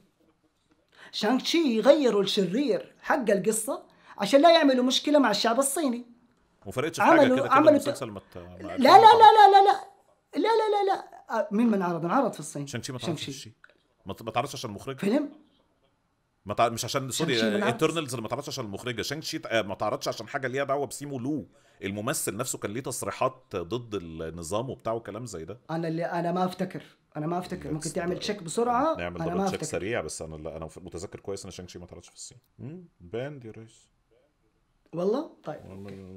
May not be released in China will get China ban over alleged insult by Simu Liu آه زي ما قلت لك الواد الممثل ده. كان هفلط في الكلام فشلوه. رغم إن هم يعني على مستوى ال review آه، يعني انبسطوا جدا بالتجسيد بتاع الثقافة والكلام ده كله. حلو. يا سلام. فهم راعوا الثقافة كاملة لدرجة إنه الشرير اللي كان موجود في شانغ تشي أنا بقول لك وأعمل عنها بحث بعدين offline حتلاقي إنهم غيروا الشرير من الكوميكس وكل الحاجات دي عملوه بشكل ثاني مغاير تماما عشان عشان ما يكون في stereotype أو صورة نمطية موجودة من أيام الكوميكس اللي معمولة من الستينات والسبعينات والثمانينات وكل الكلام ده. فهي نفس الفكرة. كان ممكن تغير اليوم عشان تكسب. ما أقول اعملها عربية. لو قلنا الثقافة الفرعونية قبل العرب أصلا ما يدخلوا من أيام الأقباط اللي موجودين في مصر والكلام ده كله ممكن تقول عليها شخصية من نفس الريجن يا أخي. جيب لي أحد أصوله مصرية لو نلعب لعبتهم. بس هذا هو هو معيارين إحنا شغالين بمعايير مختلفة يا باشا. والحلقة اللي فاتت تكلمنا إحنا اليوم المسلسل ده انعرض فين؟ في ديزني. ديزني لسه الآن ما هي موجودة عندك. أنت لو اعتبروك شيء كان اخروا العرض إلين ما يصير الإطلاق صح رسميا عندك هنا في جوب صح احتفالية ولا لا؟ بنت لذينة بقى واحتفالية وكله صح ولا لا؟ صح, صح. ولا لا؟ لا، دي أنا هم. ما هم معتبرينك ما هم معتبرينك أنا أنا مش م... أنا. مش مختلف معاك في إن إحنا الحيطة المايلة وإن إحنا صوتنا واطي وإن إحنا بنرضى بالقليل بكل تأكيد بس المقارنتين اللي أنت عملتهم مش حاسس إن هم فاحين لهم بنسبة 100% لأن فيهم نقطة المرجعية المرجع بيقول والمرجع بيقول آه الحاجة بقى اللي أنا معاك فيها قوي وأنا كمان مرة بحكم من كلامك ومن كلام الناس لأن أنا ما شفتش المسلسل آه صناعنا خدوا على السوشيال ميديا أكتر من اللازم. آه بيتويتوا كتير قوي وبيطلعوا live كتير قوي وبيدخلوا في ردود على ال audience كتير قوي. ناس كتير شايفة إن ده من زاوية آه شيء إيجابي لأنه بيقرب الصانع من الجمهور. ولكن لما تيجي تشوف الناس دي بتتدخل إزاي وبتتناقش إزاي ما بتتناقش ما بتتناقش عشان تسأل ما بتتناقش عشان تعرف هي بتت... بتناقش عشان تخطب. عشان تقدم محاضرات عشان الناس تعمل retweets للردود بتاعتهم وتقول يا سلام. علشان ينتصر لوجهة نظره في كل مرة. عشان ي retweet الناس اللي بيقولوا إن العمل بتاعه حلو يا جماعة وادخلوه واتفرجوا عليه وتصرفوا واعملوا كلام زي ده. أنا حاسس إن ده تدخل منحاز جدا جدا جدا يقترب مع الفارق على جريمة ال inside trading بتاعت التجارة. إنك تبقى عارف إنك تبقى مؤثر على السهم بتاعك فتستخدم تأثيرك ده وتحرك السوق. واتمنى أتمنى الناس تتعلم قد إيه الموضوع دوت مضر وقد إيه بيجعل الموضوعية في النقاش أو إن الناس يبقى عندها وجهات نظر متضاربة مايلة جدا لوجهة النظر اللي أنت بتساندها اللي هي في الأغلب وجهة نظر العمل. أنا أنا أنا وحشتني أيام لما كانت الناس هي اللي بتتكلم مع بعضها وأنت كصانع كنت في أقصى الأحوال بتطلع وبتتعلم. بتاخد النقد بتاخد الإيجابي وبتاخد السلبي بتتعلم من أخطائك بتشوف الناس يمكن تلفت نظرك لحاجات أنت مش شايفها. لكن أنتوا كلكم ما بقيتوش بتقدموا المنتج وتشوفوا الناس هتستهلكوا إزاي أنتوا نازلين تدوقوه مع الناس وتفرضوا علينا وجهة نظركم فيه. وإذا رجعنا مرة ثانية للقصة الأصلية والمسلسل أنا ممكن أختصر بالتالي آه هذا إضافة جديدة لسلسلة مسلسلات مارفل اللي كان ممكن ببساطة يكون فيلم من ساعتين ساعة ونص يدينا الحتوتة البسيطة حقته وننهي. يعني المسلسل فيه لت وعجن في قصة واحدة وقضية واحدة أنقذها بشكل كبير التمثيل الرائع من أوسكار آيزك. آم، القصة ككل مشربكة آه، في موضوع واحد بتلف وتعجن فيه. ثلاث حلقات الأولى كان ممكن ندمجها- في حلقه واحدة. آخر ثلاث حلقات برضو كان ممكن ندمجها في حلقتين أو كان عملنا فيلم وانتهينا يعني ما ما كان يحتاج الطول ده كله. الجرافيكس تثبت مرة ثانية مارفل انه إنه عندها القوة تستخدمها وقت ما تبغى وأغلب الأعمال بالنسبة لها تعطينا حاجات من التسعينات. يعني أنا الجرافيكس اللي طلعت في Moon Knight من أسوأ ما يمكن إنك تشوفه. شيء يعني جدا جدا سيء. يعني مؤثرات بصرية آه عفى عليها الزمن إنك تشوفها في 2022 إيش السبب؟ الله أعلم. آه هل المخرج له دور؟ I don't know هل الميزانية؟ ممكن. بس المخرج المنتج النهائي شيء ما ينعرض مع قائمة مارفل وحاجه شبيهة كده ب Black Widow. زي ما تكلمنا في Black Widow كيف كان ال CGI جدا سيء حاجة مشابهة للشيء السيء اللي شفناه في Black Widow. القصة ككل خرجت ودخلت. أنا ماني مرتبط ابدا بالبطل. أنا ما ماني شايف الارتباط بشكل واضح وفاضح مع عالم مارفل يمكن مع مسألة ال- الآلهة اللي موجودين والآلهة دول هم نفس الآلهة اللي ممكن في عالم Eternals ما أعرف يبغالي إني أبحث بس لدرجة دي الفضول عندي كان كان كان صفر في المية. ف بس. ده شكرا. مع المراجعة. هذه المراجعة. طيب بما إننا لسه في عالم مارفل هو إحنا ناويين نعمل إيه في موضوع Doctor Strange ده يا ريس؟ عشان أنا ما أعرفش بصراحة. أغير البطارية خليك معي ناوي تغير البطارية يا ريس؟ ماشي يا ريس. Doctor Strange والله يا باشا يعني ضربة غريبة في وقت غريب. يعني المشكلة إنه أنا هذا لو كان وقت عادي في السنة كان خلاص آه كان تلاقيني الآن قد صورت المراجعة ونزلت. كنت سافرت لأي مكان شفت ال- الفيلم ورجعت بس جات في العيد وكان صعب جدا ال- الارتباطات العائلية وكذا كان مرة الموضوع صعب. ودحين خايف إنه الهايب حتهدى. إيش رأيك؟ ندور لنا على مكان ونشوف ولا ندور لنا على ولا مخنا نشوف لنا وقر. آه بص آه لا أنا شايف إن إحنا نروح نشوف بصراحة. يا أخي بس ال- الانطباع ما يبشر عارف يعني الانطباع ب- وده وده بيخلي الدنيا أحلى. ده اللي بيخلي الرأي ليه قيمة أكبر بعيدا عن ال أوكي. ال أسطول الأتوبيسات اللي بيحشد وكله طالع على حتة واحدة ده. في اختلاف وجهات النظر في تضارب في قضية درامية وفي قضية سوبر هيروية وفي قضية آه، جدلية عن المنع ومسبباته والأمور دي كلها. وفي installment مهم جدا ومرحلة محطة مفصلية في طريقنا مع رحلة عالم مارفل السينمائي. وفي حوار أنا وأنت ممكن نعمله وده اللي إحنا بنقول للناس دلوقتي اللي إحنا بنحاول نعمله إن أنا وماهر نستغل فرصة إن نتواجد مع بعض في مكان آه، نقدر نشوف فيه الفيلم ونقدر نتكلم عنه إحنا الاثنين مع بعض بشكل أو بآخر.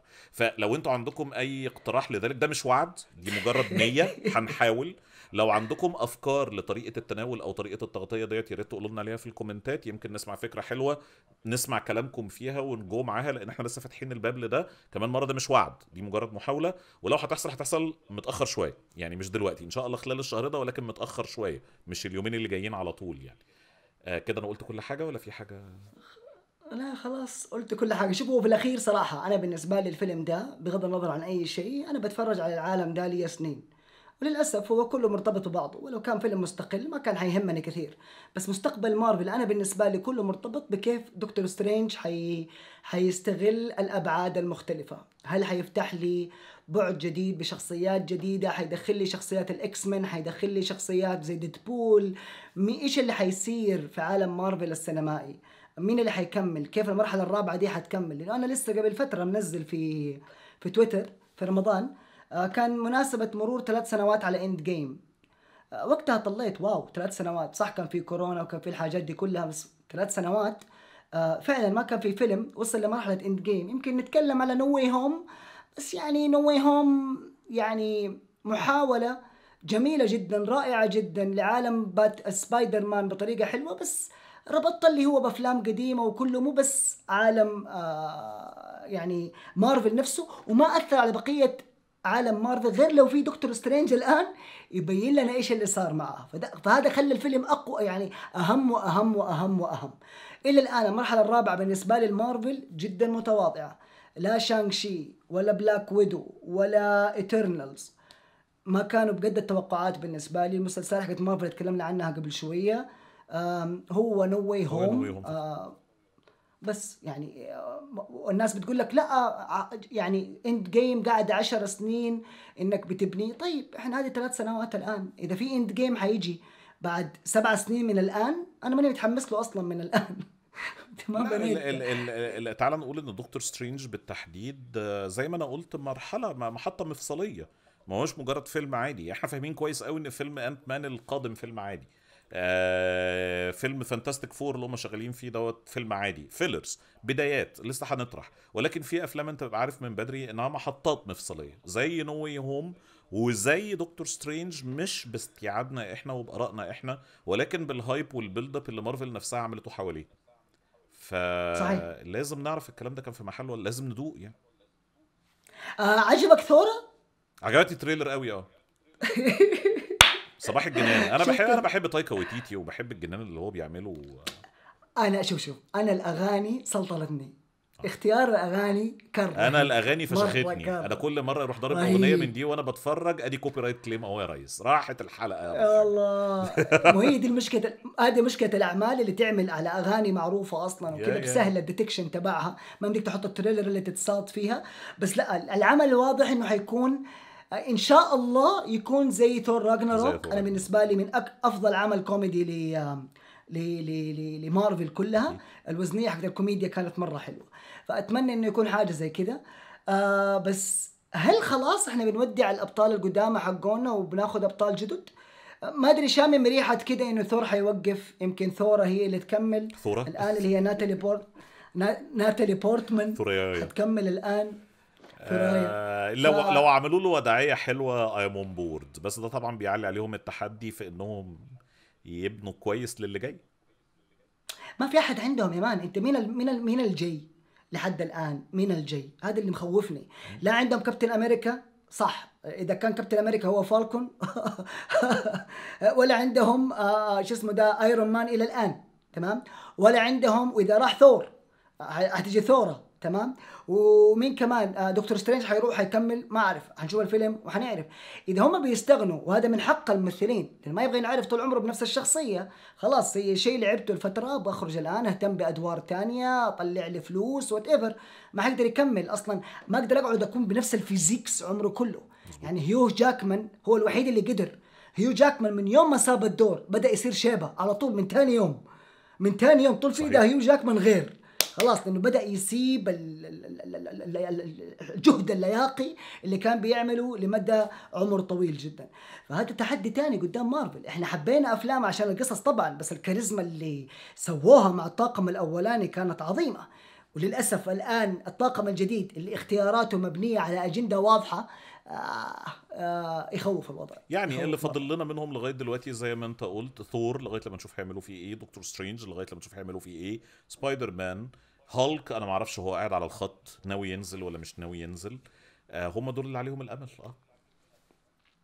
لا وي... آه يلا نشوف. عموما آه دكتور سترينج عشان الناس بتسأل عنه آه ما عملنا مراجعة ببساطة الفيلم ما انعرض لا في مصر ولا في السعودية وعلى حد علمي كمان لا في الكويت ولا في البحرين. آه هو البلد الوحيد اللي موجود يمكن حوالينا هي في الإمارات يعني آه اللي شافوه العراق أتوقع كمان. نزل والمغرب العربي أظن كمان آه نزل فيه. بس المنطقة حوالينا الفيلم اتشال في العيد يا باشا. روح اللي بعده.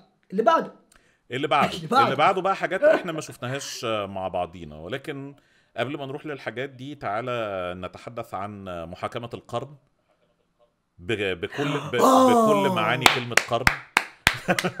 رهيب رهيب محاكمة جوني ديب. وامبر هيرد انت قلت ان انت كان يا عندك. وقت كتير وقاطع على السوشيال ميديا فانت درست الموضوع درست الحالة القانونية بتاعت القضية ديت من جميع الجهات أنا يا عم قاعد شغال live stream كل يوم أنا أحب أفلام أحب قصص المحاماة جدا. يعني أنا آه، يعجب من أكثر المسلسلات اللي أنصح فيها دائما وما هو مشهور لدي الدرجة هو مسلسل The Good Wife لأنه اسمه غبي. الاسم The Good Wife الزوجة الطيبة. إيش هو فيلم خيانات وحب محبوب؟ لا. هو في البداية أول موسم إنه دي ال- إنه دي الآدمية متزوجة من واحد آه، آه، دبلوماسي واكت- واكتشفوه في خيانة فوقفت مع زوجها على الرغم إنه هو خانها بس بعدين بتكمل معاها كيف إنها ترجع يصير لها حياة وتصير محامية. وست مواسم يا معلم ولا سبعة ناسي صراحة من أجمل ما يكون كلها قصص عن المحاماة ومرافعات وأجمل ما يكون. في ناس حتقول لي Suits حقول لهم معليش أجمل من Suits في ناس حتقول لي How to Get Away with Murder بالنسبة لي هو أحلى منه هو أفضل مسلسل عن المحاماة. نخرج من ده. فأنا لما تجيب لي حاجة عن المحاميين والله حاسس إن أنا فاهم. لما يقول objection overruled hearsay حاسس ان أنا معاهم كده وقاعد أشجع. أشجع الفرق وده. فكانت يعني لأن أنا عارف اشرح القضية. لنا حاجة الأول. هو اشمعنى المحاكمة دي بالتحديد اللي televised لهذه الدرجة؟ أه، ما ما أنا صراحة ما أعرف. أنا ما ما أدري. آه ليش؟ آه هي اللي televised بس آه اللي أعرفه إنه حتى الأمريكان نفسهم بيسألوا نفس السؤال. آه شفت مقطع آه مع جو روجن I think بيتكلم مع أحد الناس. بيقول أنا آخر مرة حضرت فيها محاكمة live كانت آه حقت الواد ده حق الكورة حقه وش اسمه.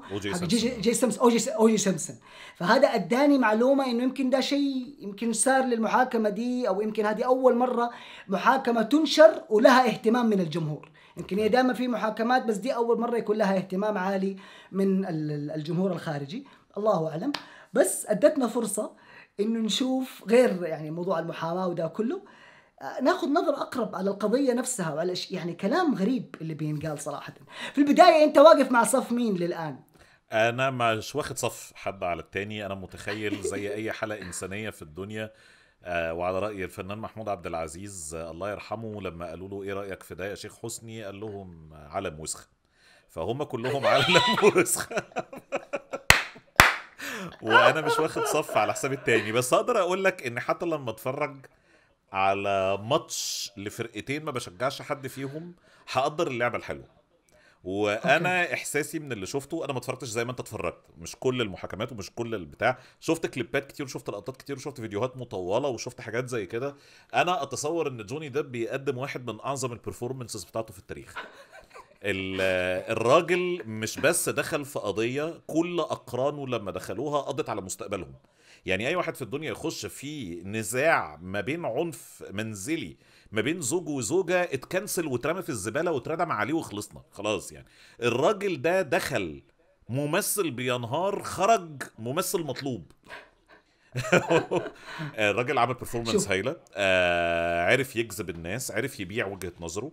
ما over act ش في كتير من المواقف بتاعته ومع ذلك أظهر كتير من إمكانياته في الردود السريعة والردود الذكية والتعبيرات اللي بتوضح وجهة نظره في اللي بيتقال حتى لو ما كانش بيتكلم وبيقول حاجة حقيقي. الراجل ده الناس كلها بتخش القضية دي تخسر ده الوحيد اللي دخل كسب حتى من قبل ما نعرف مين اللي كسب ومين اللي خسر. شوف أنا أول حاجة أنا ما تابعت طبعا كل المحاكمات. لا الناس تحسب إنه كل المحاكمات شفتها. لا في بعضها صراحة شفتها وفي بعضها شفت مقاطع في اليوتيوب وغيرها بس ملم بالأشياء اللي داخلها. أنا بالنسبة لي جوني ديب يمكن قلتها أكثر من مرة آه يعني آخر 10 سنين 15 سنة إحنا ما إحنا شايفينه. يعني آخر فيلم أنا مرة انبسطت لجوني ديب كان Pirates of the Caribbean الثالث. تتكلم على قبل 2010 تمام؟ ف... فحاجة زي دي يعني كممثل ماني مرتبط معاه ارتباط كبير. بس القضية لما طلعت ديك الأيام مع حركة ال Me Too أنا من الناس اللي خلاص يعني حيطير في الرجلين زي الكل مطار. وبكل أمانة آه الانطباع الأول اللي صاير عالميا آه خصوصا من أيام ميتو للآن إنه لما تطلع سيدة تتكلم غالبا هي الصادقة. وإنه فعلا كان في كان في ظلم من المجتمع الذكوري داخل هوليوود وخلافه بلا بلا بلا وفي قضايا كثير طلعت وبالأدلة طبعا وهذا اللي خلى فيه انطباع عام إنه المرأة دائما على حق. إذا طلعت واحدة من هوليوود الرجل تتكلم إن الرجل اصله صرصار. بالضبط. ويعني إحنا متعاملين مع هذا الموضوع. بس اللي اللي اللي خلى الصورة تتغير مع جوني ديب إنه شفت لما جاء قرار آه، سحب ديزني من Pirates of the Caribbean في البداية ما كان في شيء. الناس كلها كانت دوبه طلع الموضوع فكلهم مع امبر هيرد عادي.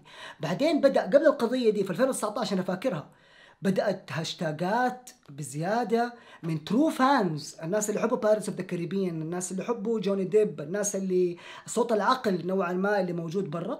وبيجيب التاريخ الأسود حق امبر هيرد تمام؟ والتاريخ الممتاز جدا لجوني ديب مع كل علاقاته السابقة سواء اللي متزوج منها ولا كانت علاقات اللي هي boyfriend و girlfriend والكلام ده كله. عيال وسخة زي انت ما بتقول يعني العالم دي كلها كيف كلها عايشة. المهم فبدأ يصير عندي فضول إنه أوه هل ده من الناس المظلومة مثلا اللي طاحت في رجلين؟ إنه في ناس كثير تم تبرئتهم بعدين من أعمال بس برضه راحت عليها. بعد ما كنسلوه أنا مبسوط. بعد ما تكنسلوا فاللي أنا مبسوط منه اليوم. أم العقل يتكلم. انت قلتها حتى بسرعة بس نرجع لها عقليا. جوني ديب ما جاله ال cancellation إلا هو أصلا متكنسل من الناس. لأنه أدواره كلها سيئة إلين ما جاء موضوع ال cancellation يعني ما جاء في ال hype ولا مو زي كيفن سبيسي مثلا على آخر موسم من House of Cards خليت يروح من أقوى المسلسلات اللي عندي وطلعت لي الخبور ده وخرج من المسلسل. لا مسلسل ممثل جد وخلاص قائم على تاريخ فقط ما عنده أي حاجة موجودة في الحاضر. فخلاص يعني كانت هي القشة التي قسمت ظهر البعير على قولهم. يعني حتى لو له جمهور ما هو ذاك الشيء الكبير والمنتجين أصلا ما كانوا حيروحوا له لأي سبب. لما جاء هذا الموضوع وبدأ إنه في ريحة بس إنه هو بريء الآن الصورة قلبت. هو ممكن يطلع من الموضوع ده ويرجع على قائمة الهرم وترجع تجي له الأدوار وممكن يقلع عن الكحول ويقلع عن الإدمان وتكون على قولهم رب ضرة نافعة. ويرجع لنا إحنا ممثل كويس وترجع إنتاجات كويسة والأهم تجي رسالة للكل والجميع إنه مو شرط إنه دائما النساء على حق ولا إنه الرجال على حق. في شيء اسمه أدلة. لا نحكم على طول بسرعة. لا نسوي زي ديزني. من يوم ما نزلت المقالة في واشنطن بوست ولا نيويورك بوست بعدها بيومين راحوا لغوا ال role.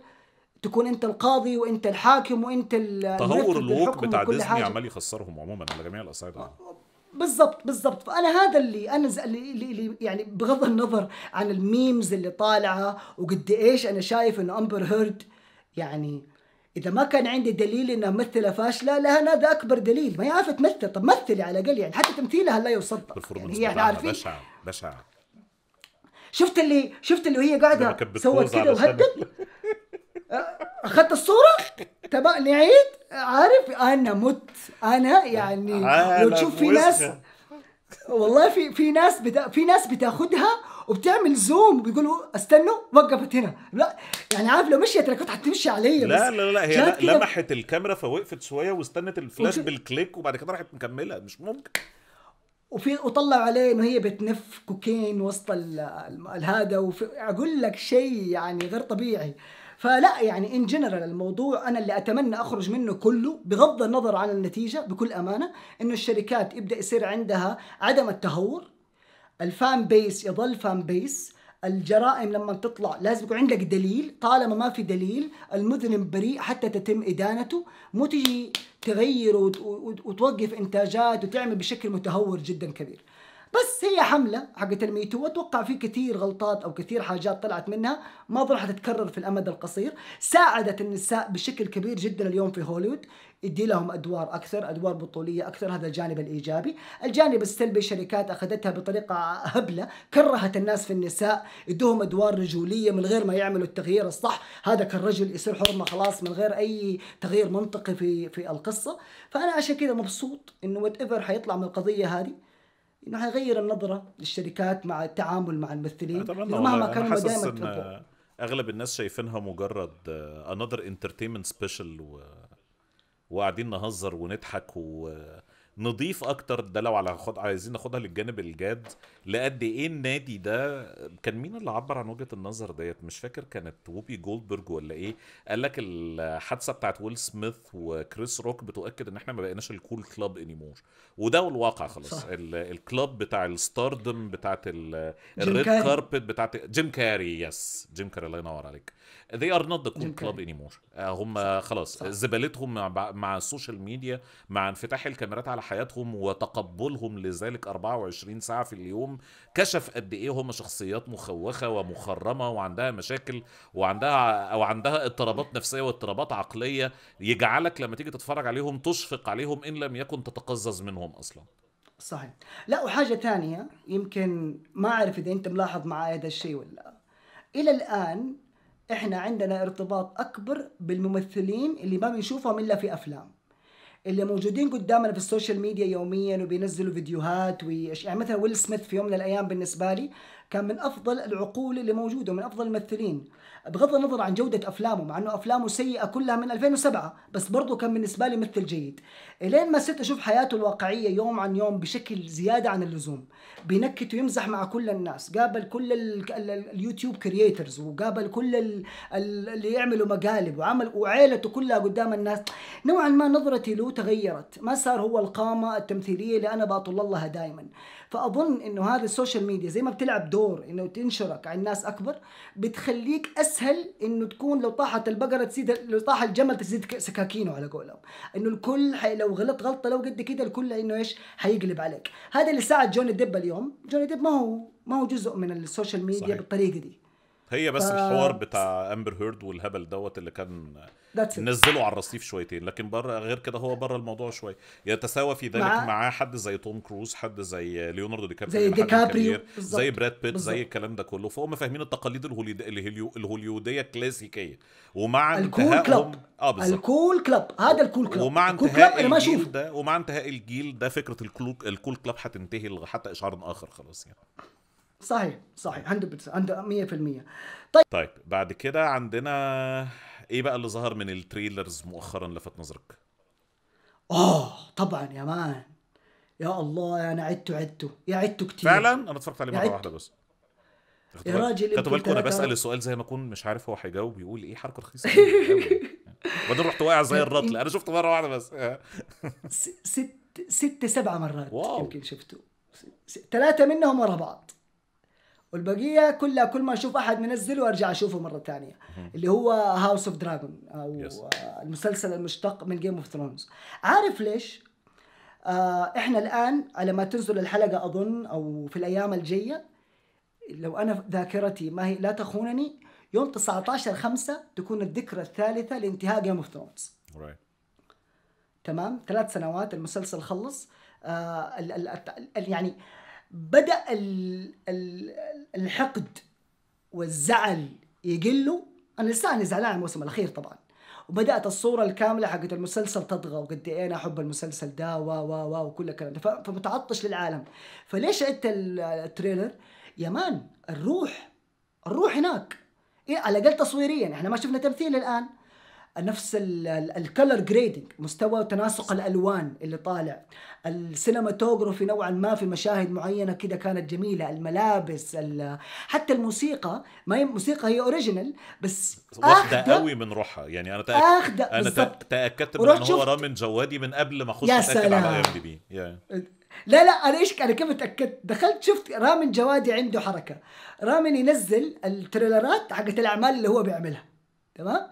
فرحت لقيته منزل ال trailer okay. على طول يعني عارف؟ لا أنا تأكدت ودخلت عملت confirmation من IMDb بس خلاص يعني ما ما unmistakable ف فيعني في عوامل كثيره يعني أول شيء آه يمكن اتكلمنا كثير عن الحق جورج انه إنه الله يهديه ما خلص إلى الآن الروايات كلها للآن. بس آه بغض النظر إنه هذه غلطته صراحة. ثلاث سنوات الآن ما نزل بس يعرف يكتب عوالم رائعة يا أخي. يعني عنده وأنا الآن قاب قوسين ها؟ قاب قوسين. إني أقرأ House of the Dragon لأني خايف من المعالجة الدرامية يخش فيها wokeness شوية خصوصا إنه في واحد من الشخصيات ما قدرت أمسك نفسي. ورحت دورت وطلعت إنه الشخصية دي مو زي ما هم مصورينها يعني في. في المسلسل. فصرت خايف إنه يدخل درجة من ال wokeness ولا اليسار التوجه اليساري الآن يلعب في القصة حقت House of Dragon فيمكن أقرأ القصة لأن هي قصة واحدة. إلى الآن آه، كتاب واحد آه، اللي نازل على ده الموضوع. ف ولسه باقي ثلاثة شهور. في وقت. فخايف إني أبدأ. في وقت إني أنا أقراها. بس خايف إنه يروح مني إحساس المفاجأة لأول مرة. ما أنا آه ما شايف حاشوف حشوف حشوف. أنا بس هو يعرف يكتب عوالم رهيب. اللي لفت نظري في ال trailer دي قوي هو انهم ما طولوش أكتر من اللازم في الاعتماد على الإشارات والوعود بإننا محترمين الإرث اللي أنتوا بتحبوه. ده كان موجود في ال teaser الأولانية اللي كانت مجردة تماما من أي قصة خالص. إحنا مجرد قدمنا الشخصيات استعرضنا قوي الأمور اللي أنت بت... لفتت نظرك المرة دي ال color grading شكل ال ال elements اللي إحنا عارفينها من Game of Thrones ال costumes الملابس الميك اب وجود ال dragon والأمور دي كلها. وأنا لو كنا طولنا أكتر من اللازم في ده كنت هبتدي أغير شوية. لأن أنا شايف إنك. ال trailer الهدف الأساسي منها إنك بتقدم لي عمل. آه العمل دوت ال key selling point بتاعته هو إنه جوه عالم Game of Thrones بس هو عالم عمل برضه هو حدوتة هو قصة. لازم صحيح. تبتدي تديني ليها إشارات لازم تبتدي ترغبني في إن أنا أتابعها. وشايف إن هم ابتدوا يعملوا دوت من ال trailer دي إن بعض معالم الصراع بدأت تظهر بعض طبائع الشخصيات بدأت تظهر. سهل قوي تتفرج على ال trailer ديت وأنت ما تعرفش أي حاجة عن House of the Dragons وتبتدي تقول ده خبيث دي طيبة ده طماع ده عنيف ده شرير ده طيب ده أمور زي دي. وأنا عاوز من ده أكتر. وأتمنى إن هم يعملوا ده عشان ال audience عموما ما يبتدوش يحسوا إن دي حاجة exclusive زي ما ال audience بيحسوا دلوقتي تجاه أفلام عالم مارفل.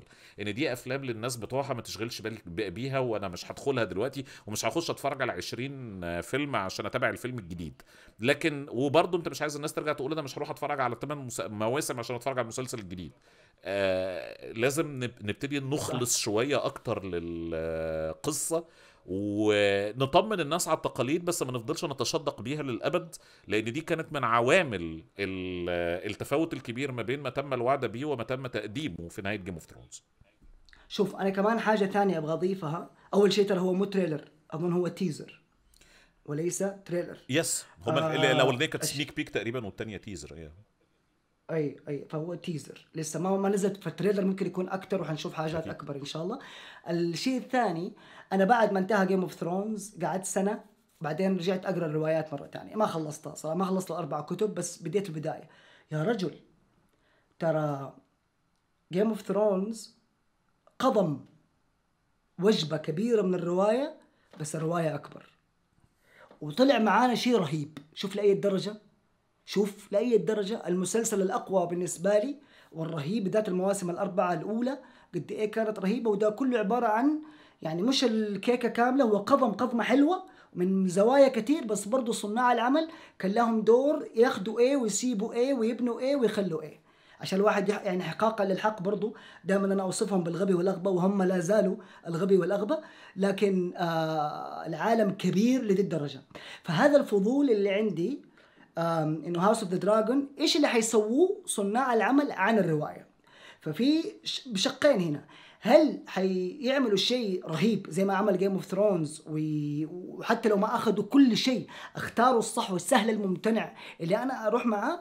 ولا يعملوا زي ما سووه في Wheel of Time المسلسل اللي نزل على امازون واللي برضه كان مبني على ارث كبير أنا ما قريت الروايات بس اللي قروه كانوا زعلانين مرة كيف إنه التحريف كان بطريقة مزعجة جدا آه، في العمل واللي إحنا خايفين منه كمان دحين Lord of the Rings برضو الصور الأولية تقول إنه في تحريف صاير في العمل. فالخوف الآن برضو هجمة ال- ال- اليسارية والتطرف اليساري اللي صاير الآن في في هوليوود إنه لعبنا في أعمال أدبية المفروض إنه هي مكتوبة صح وفي رؤية واضحة ليها وإنه هي معمولة في زمن غير زمننا.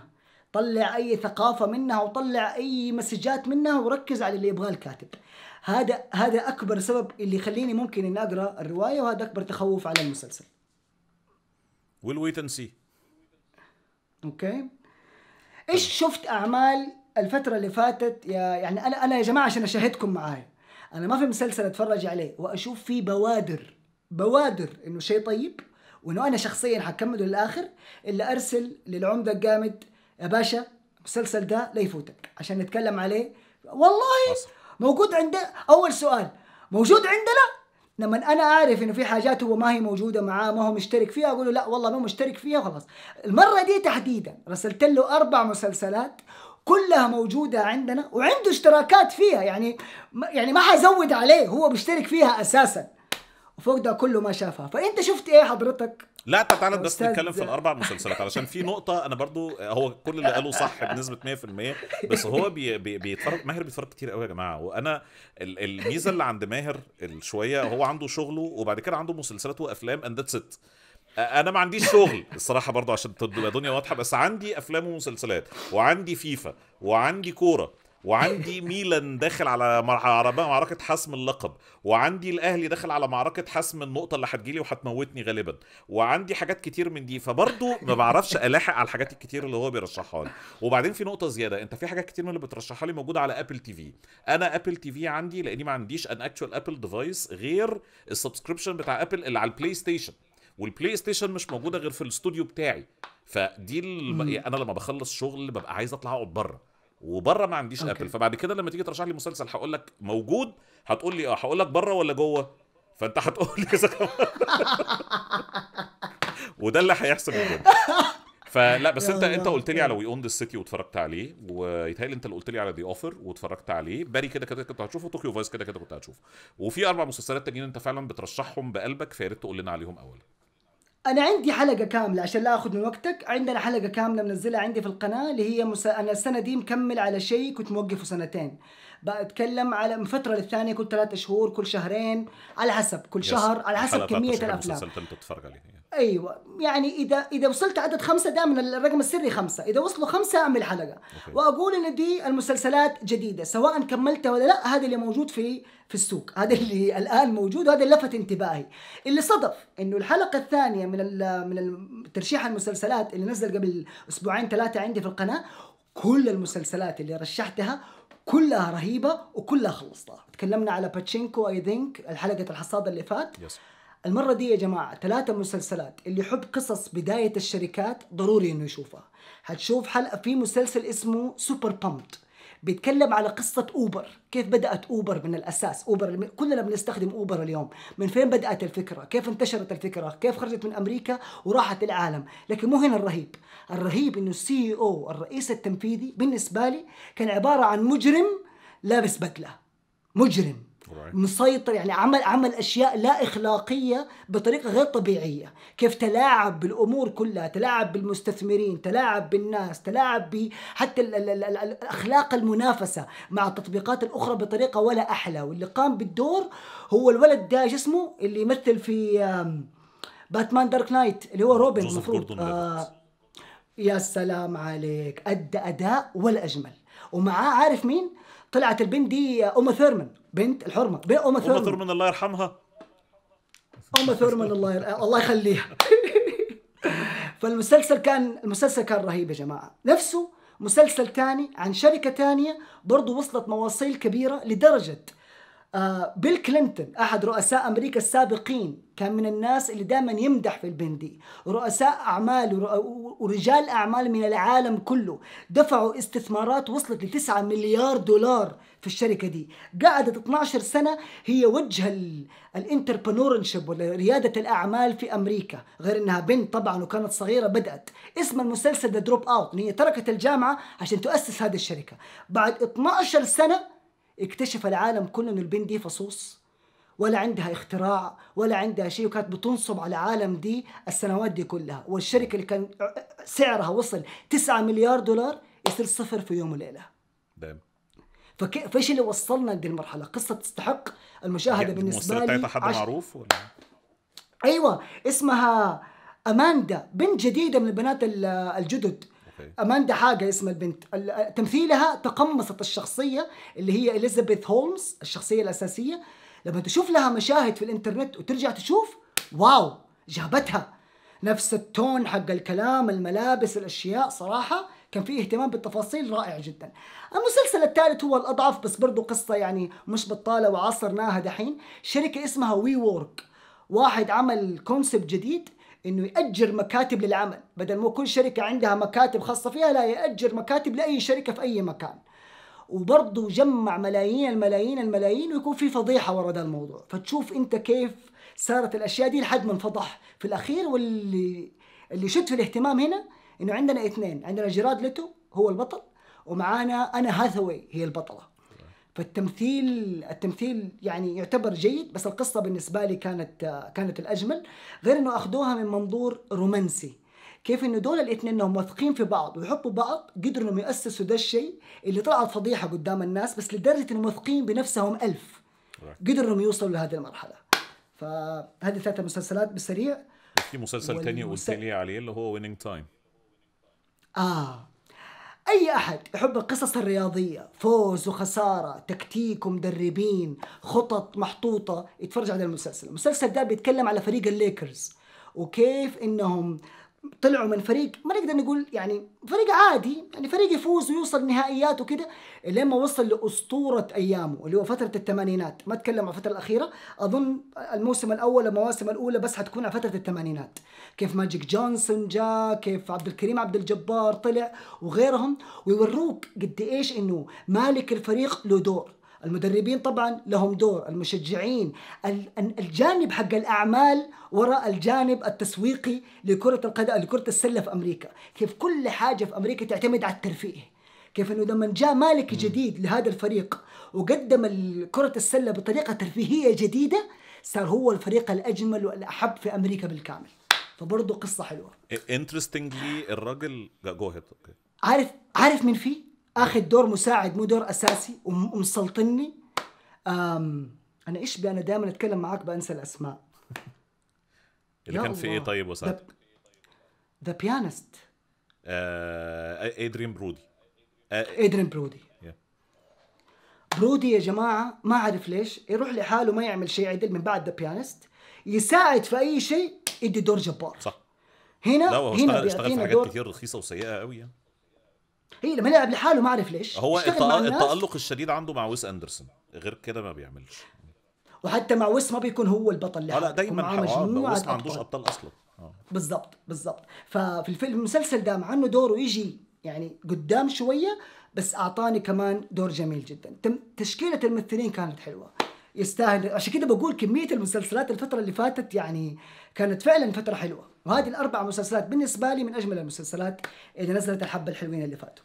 اضحك على سيرة الليكرز. النادي تشيلسي الإنجليزي كان عنده أزمة عشان الملك بتاعه روسي وبتاع وباعوه غصب واقتدار وكلام زي ده واللي اشتراه هو الراجل المستثمر اللي يملك حاليا الليكرز.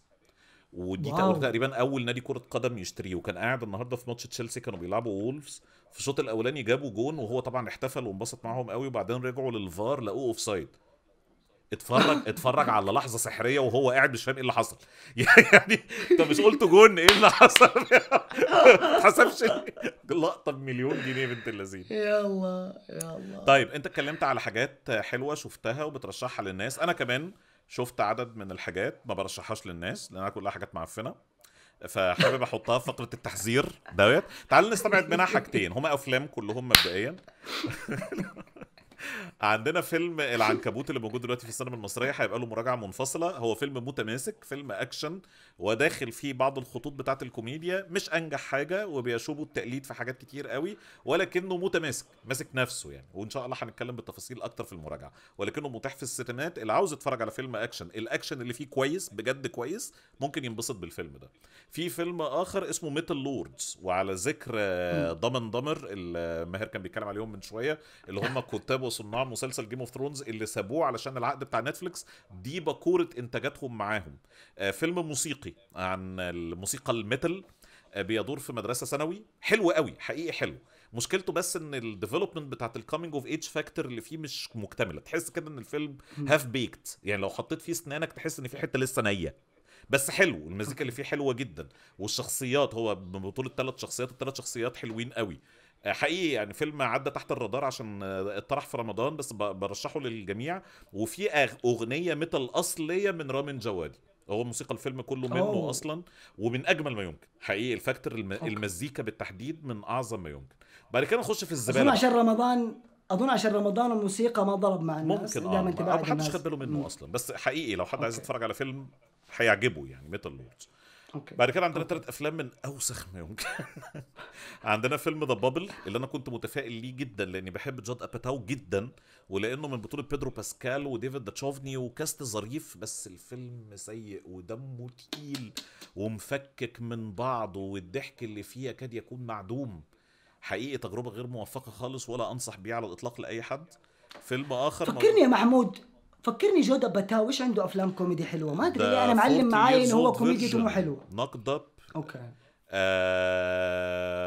Trainwreck This Is 40 ال- ال- الحاجات ال raunchy بتاعت الكوميديا اللي طلعت الجيل بتاع بول راد وسيت روجن وجونا هيل والنا- وستيف كارال. والناس ديت دي كلها حاجته. هو أنا okay، أنا بحبه جدا. يعني عمري في حياتي ما شفت مشروع كرهته له وده مش بس كرهته له ده في حالة عداء ما بيني وما بينه. لأن ده فيلم وحش قوي قوي قوي قوي يعني. آه عندنا كمان فيلم Deep Water الفيلم اللي اتحط في الحقبة اللي بين افلك كان آه بيخارج فيها مع أنا دي أرماس وهو فيلم شفته؟ أنا ما قدرت أكمله ما قدرت أكمله. والله عيد العقل هو ما ينفعش تكمله بصراحه أز... أظن أظن عشر دقائق وبعدين قلت لا في حاجة مش ظابطة. يعني هو يا في twist حيكون رهيب قدام وأنا I don't want to see it ولا إنه لا هو بيكتب حاجة أنا ما أقدر أتفرج عليها. يعني عشر دقائق أنا ما قدرت was too much too much إيش دياثه ممكن تنقال؟ I don't know ما إيش ممكن تنقال بص يعني. هو هو ح... هو ما يسمى. هو تصنيف قرب يندثر من العالم اسمه. erotic thriller أو erotic drama اتعمل نف... نفس الراجل ده عمل حاجات شبه دي زمان. عمل Indecent Proposal وعمل يتهيألي Basic Instinct اللي هم erotic thrillers هي أفلام أيوة، بس- مزعج... بس مزعجة حلوة. جدا على المستوى الجنسي لأي حد بيتفرج عليها. ويك... يا يتقبلها ويكملها يا ما تقبلهاش وما يكملهاش. اللي أنا متفاجئ له ان. أنت انسحبت في البداية بتاعته صدمة من طبيعة المحتوى وطبيعة العلاقة الجنسية والغير جنسية. مش ده مو بس مو عشان كده التمثيل كمان سيء فيه. يعني أنا ما, ما, جذبني ما كويسين. القصة- بين أفلك وأنا دي أرماس ما كانوش عندي معاهم مشكلة بصراحة. أنا القصة نفسها ما جذبتني. أنا القصة نفسها أنا شوف يعني في الأخير إحنا كبار في السن. لو في حاجة بتخدم الأداء المعالجة الدرامية للقصة. حتى لو كان شيء إذا مرة حمشي المشهد إذا كان شيء وأكمل. أهم شيء عندي إيش؟ القصة. أنا ما أنا جاي أتفرج على مشهد ده يعني في الأخير إحنا جايين نتفرج على عمل. لكن اللي أنا أزعجني في الفيلم في البداية القصة كلها البريمس تبعها ما دخل دماغي. يعني ماني قادر أعيش. هي دي النقطة دي. النقطة اللي أنا موافقك فيها تماما. هو مش قوي مش متماسك مش مفهوم.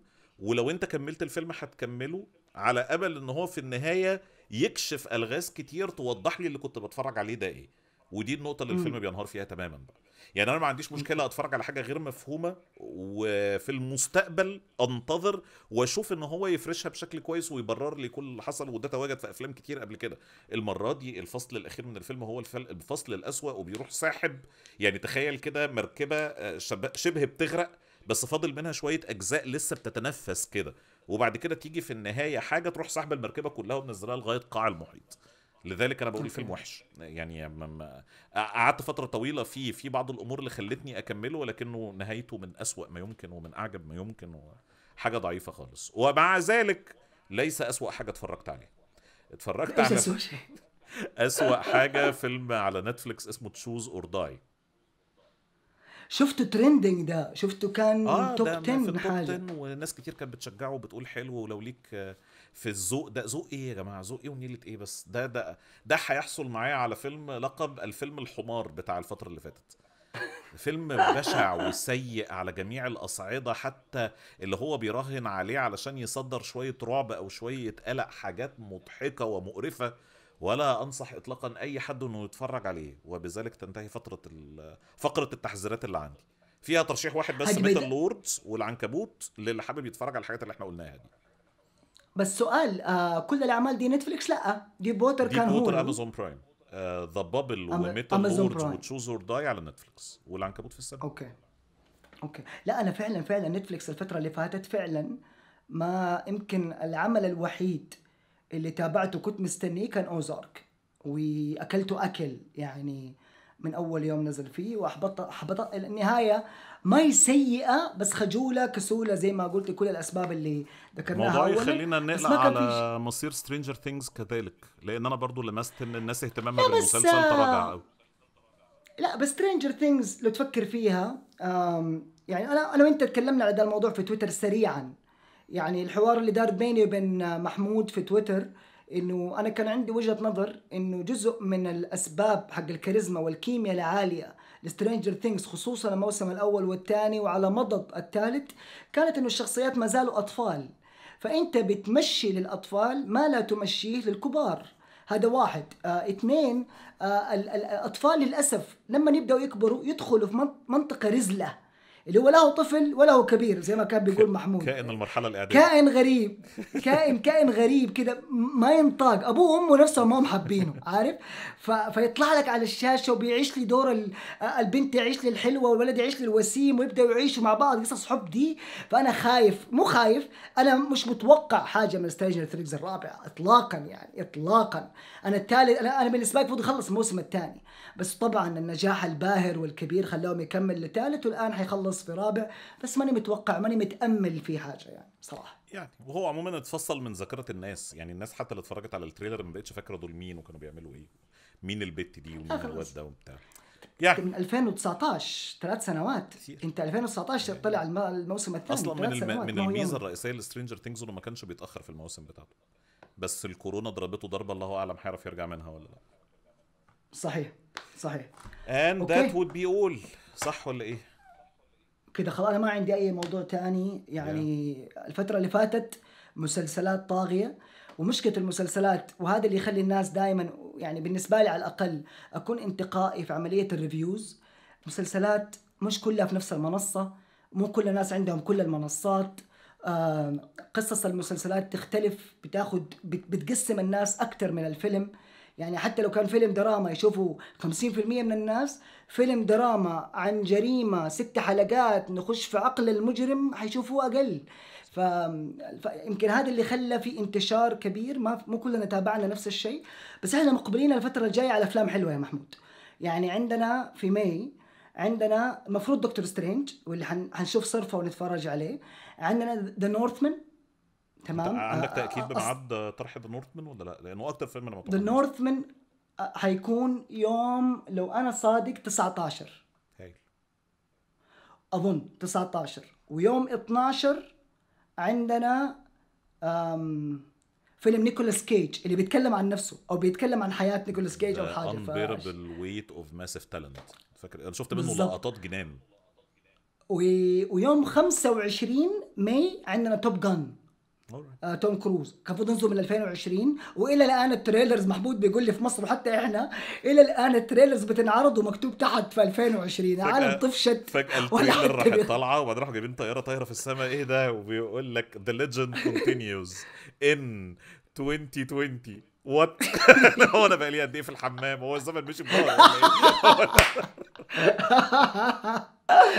ف Top Gun عندنا كمان في 25 وهذه فرصة أذكر الناس أرجع شوفوا Top Gun الأولاني. من أفلام توم كروز الحلوة.